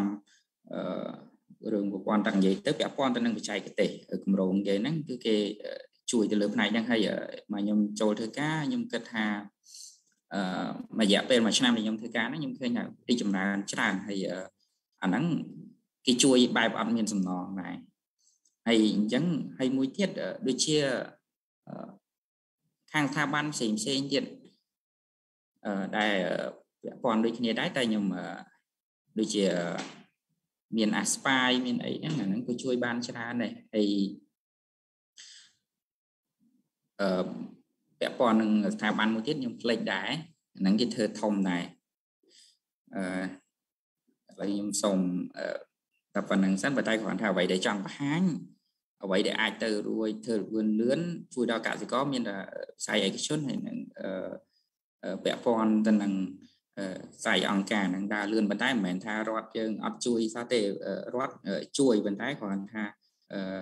គ្រាន់ថាបើទំនោរខ្ញុំនិយាយទៅលើភាពទំនោរវិញយើងនិយាយថាពាក់ព័ន្ធទំនោរដែលខ្ញុំពីរហ្នឹងស្ថាប័នឯកជនហើយនឹងស្ថាប័នអង្គការនឹងលឿនលឿនប៉ុន្តែរដ្ឋក៏នៅតែដើរតួនាទីសំខាន់ដែរយើងអាចចោលបានទេព្រោះអីគាត់ក៏ជួយបានច្រើនដូចគ្នាដែរអញ្ចឹងណាអូខេអរគុណច្រើន អរគុណច្រើននេះពេញអរគុណច្រើនអូនសម្រាប់សំណួរនឹងចម្លើយទាំងអស់គ្នាហើយខ្ញុំគិតថាសុំមួយសំណួរចុងក្រោយទៀតមុនយើងបញ្ចប់ session យើងហ្នឹងអញ្ចឹងមានលោកគ្រូអ្នកគ្រូបងបងអូនអូននៅលើ Facebook Live ឬក៏ Zoom តែគាត់បានចូលរួមហ្នឹងគាត់អាចមានសំណួរអីអាចក្របជាសំណួរឬក៏អាចបើកជាសំឡេងហ្នឹងខ្ញុំឃើញមានម្នាក់លើកដៃសុំទោស ឈ្មោះភក្តីច័ន្ទភក្តីអូនអាចបើកមីក្រូហ្វូនទៅហើយអាចសួរហ្នឹងក៏បានដែរអរគុណបងវិស័យអឺអរគុណលីពេងដែលបានធ្វើបទបង្ហាញប៉ុន្តែគាត់ថាខ្ញុំចង់សួរបញ្ជាក់ថាចេះនៅក្នុងករណីដែលយើងរឆ្នាំពលរយៈពេលប្រហែលថ្ងៃមិញដូចមាន3ថ្ងៃដល់14ថ្ងៃទៅទេប៉ុន្តែគាត់ថាខ្ញុំចង់ដឹងថាចេះយើងអាចដឹងទេថាកសិករគាត់ ពេលដែលគាត់បាញ់ឆ្នាំហ្នឹងគាត់បាញ់លើសប្រហែលភាគរយដែរទៅឧទាហរណ៍ថា recommend គេឲ្យបាញ់100ប៉ុន្តែស្រាប់ហើយគាត់ដាក់ដល់200អញ្ចឹងណាចឹងអាចអាចមានតន័យនឹងឯងយើងអាច survey បន្ថែមទៀតឬក៏ធ្លាប់មាន survey ពីមុនមកហើយណាគាត់សិក្សាដែលថាគាត់បាញ់លើសដល់200ស្រាប់ហើយសំណល់ឆ្នាំពុលអាចឡើងកើនឡើងដល់លើចំណុចណាមួយដែលយើងប្រើបានអីចឹងព្រោះ អាហ្នឹងគិតថាវាអាចតាក់ទងគ្នាដែរទៅវិញបាទសួស្តីក្រុមសេចក្តីអឺអញ្ចឹងពាក់ព័ន្ធទៅនឹងការលើសចឹងវិញអត្តន័យជាក់លាក់នោះចេញពីឯកសារ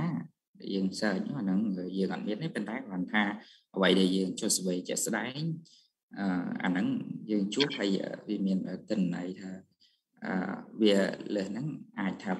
ប្រមាណភាគរយអាហ្នឹងគ្រាន់ថាខាងខ្ញុំក៏បានបដោតសំខាន់រហូតដល់គិតចេញជាភាគរយដែរប៉ុន្តែគ្រាន់ថាអ្វីជាដឹងខ្លួនឯងថាមើលទៅគាត់ប្រើលើសប្រហែលប្រហែលភាគរយហ្នឹងគឺគឺដឹងសម្រាប់ខ្លួនយើងអញ្ចឹងណាពេលខ្លះគាត់លើសដល់30ទៅ40%ក៏មានដែរហើយអាហ្នឹងយើងនិយាយថាឆ្នាំពលគាត់ប្រើតែមកធាតុសកម្មឯងតែប្រើដល់ទី3ធាតុសកម្មទៀតអាហ្នឹងវាទៅតាមនឹងទៀតដែរអញ្ចឹងណាបងប៉ុន្តែ ដូចបញ្ជាក់បងអញ្ចឹងថាបើសិនជាអឺ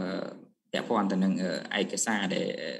ស៊ីជំរឿដែលកូនរយភាគរយហ្មងអានឹងយើងអត់បានសិក្សាដល់ទេដោយសារតែវារៀងចេញរៀងគម្លាតពីប្រធានបទយើងអញ្ចឹងណាបងអរគុណច្រើនបងអូខេអរគុណច្រើន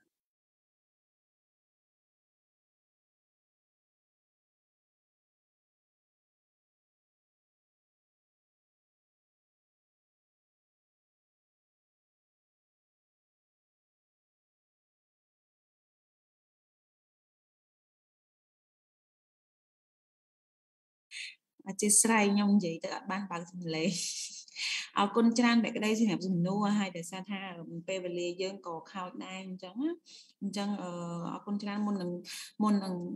ចប់ session ថ្ងៃហ្នឹងខ្ញុំសូមអាចថា wrap up ទីចោះអញ្ចឹងថ្ងៃហ្នឹង topic យើងគឺពាក់ព័ន្ធនឹងតាមស្រីដីដែលបែបបទបង្ហាញដោយទីដែលគាត់បាន detail ថា ត្រូវការដាំស្រែកដីយើងត្រូវការអីខ្លះយើងត្រូវមានចែកទៅអីខ្លះហើយវាយើងគួរតែធ្វើអីខ្លះនៅក្នុងនឹងហើយធីរីគាត់ក៏បានបង្ហាញទៅលើការថាគ្រប់គ្រងស្មារតីលើស្ដែកដីហ្នឹងវាក៏ត្រូវការខ្លះក្នុងនឹងមានវិធីសាស្ត្រខ្លះក្នុងការគ្រប់គ្រងមួយហើយវាមានប្រភេទតំណាំស្មៅចង្រៃអីដែល possible បានន័យថាវាអាចកើតនៅលើស្ដែកដីហ្នឹងអញ្ចឹងណាហើយនឹងវិធីសាស្ត្រកម្ចាត់របស់វា ហើយប្រធានបទបានន័យថាប្រធានបទមួយទៀតគឺតកតនឹងការប្រើប្រាស់ថ្នាំពុលលើកណ្ដាលស្ពៃក្តៅនឹងអញ្ចឹងបានន័យថាថ្ងៃនេះយើងចូលតែមួយព្រឹកយើងបាន3 topic ហើយទៅលើទៅពីដំណាំបានន័យថា advantage មែនតើហើយ advantage មែនទេបានន័យថាយើងអត់ខាត់ពេលយើងចូលរៀនបានយើងបានចំណេះដឹងច្រើនពាក់ព័ន្ធនឹងការគ្រប់គ្រងផងការប្រើប្រាស់ថ្នាំពុលផងហើយនឹងការអនុវត្តវិធីសាស្ត្រ mechanic អីមួយចំនួនក្នុងការគ្រប់គ្រងស្មៅចង្រៃអីអញ្ចឹងទៅអញ្ចឹងមុននឹងបញ្ចប់ថ្ងៃនេះខ្ញុំសូម ដោយសារថាយើងសូមជួយទាំងអស់គ្នាអ្នកដែលចូលរួមអាចបើកកាមេរ៉ាបន្តិចបានទេដើម្បីយើងថតជាបានន័យថាយើងមិនបានជុំមុខគ្នាយើងបើកកាមេរ៉ាស្គាល់គ្នានៅលើហ្នឹងជុំមុខគ្នាស្គាល់គ្នាអញ្ចឹងណាអូខេអញ្ចឹងអាចជួយបើកកាមេរ៉ាបន្តិចបានទេហ្នឹងហើយមកផ្លែទេអូបែកសក់បែកសក់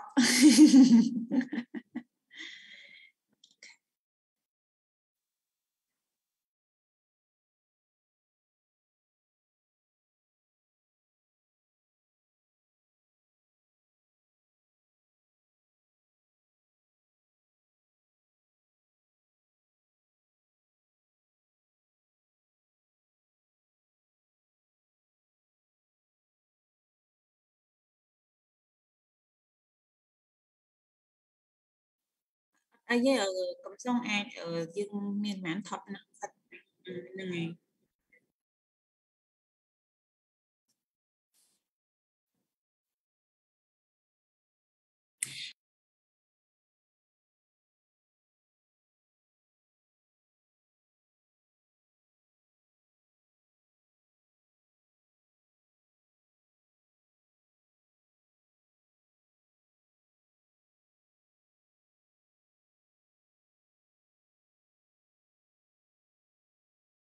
អរគុណច្រើនទាំងអស់គ្នាអរគុណច្រើនអ្នកនៅលើ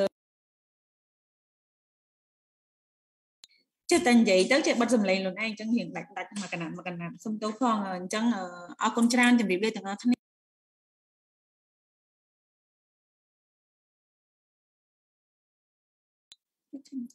ចាអរគុណច្រើនបងពិសីអរគុណអ្នកអរគុណច្រើនដែលបានរៀបចំកម្មវិធីគ្នាទៅវិញទៅ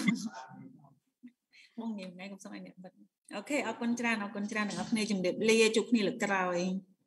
អរគុណច្រើន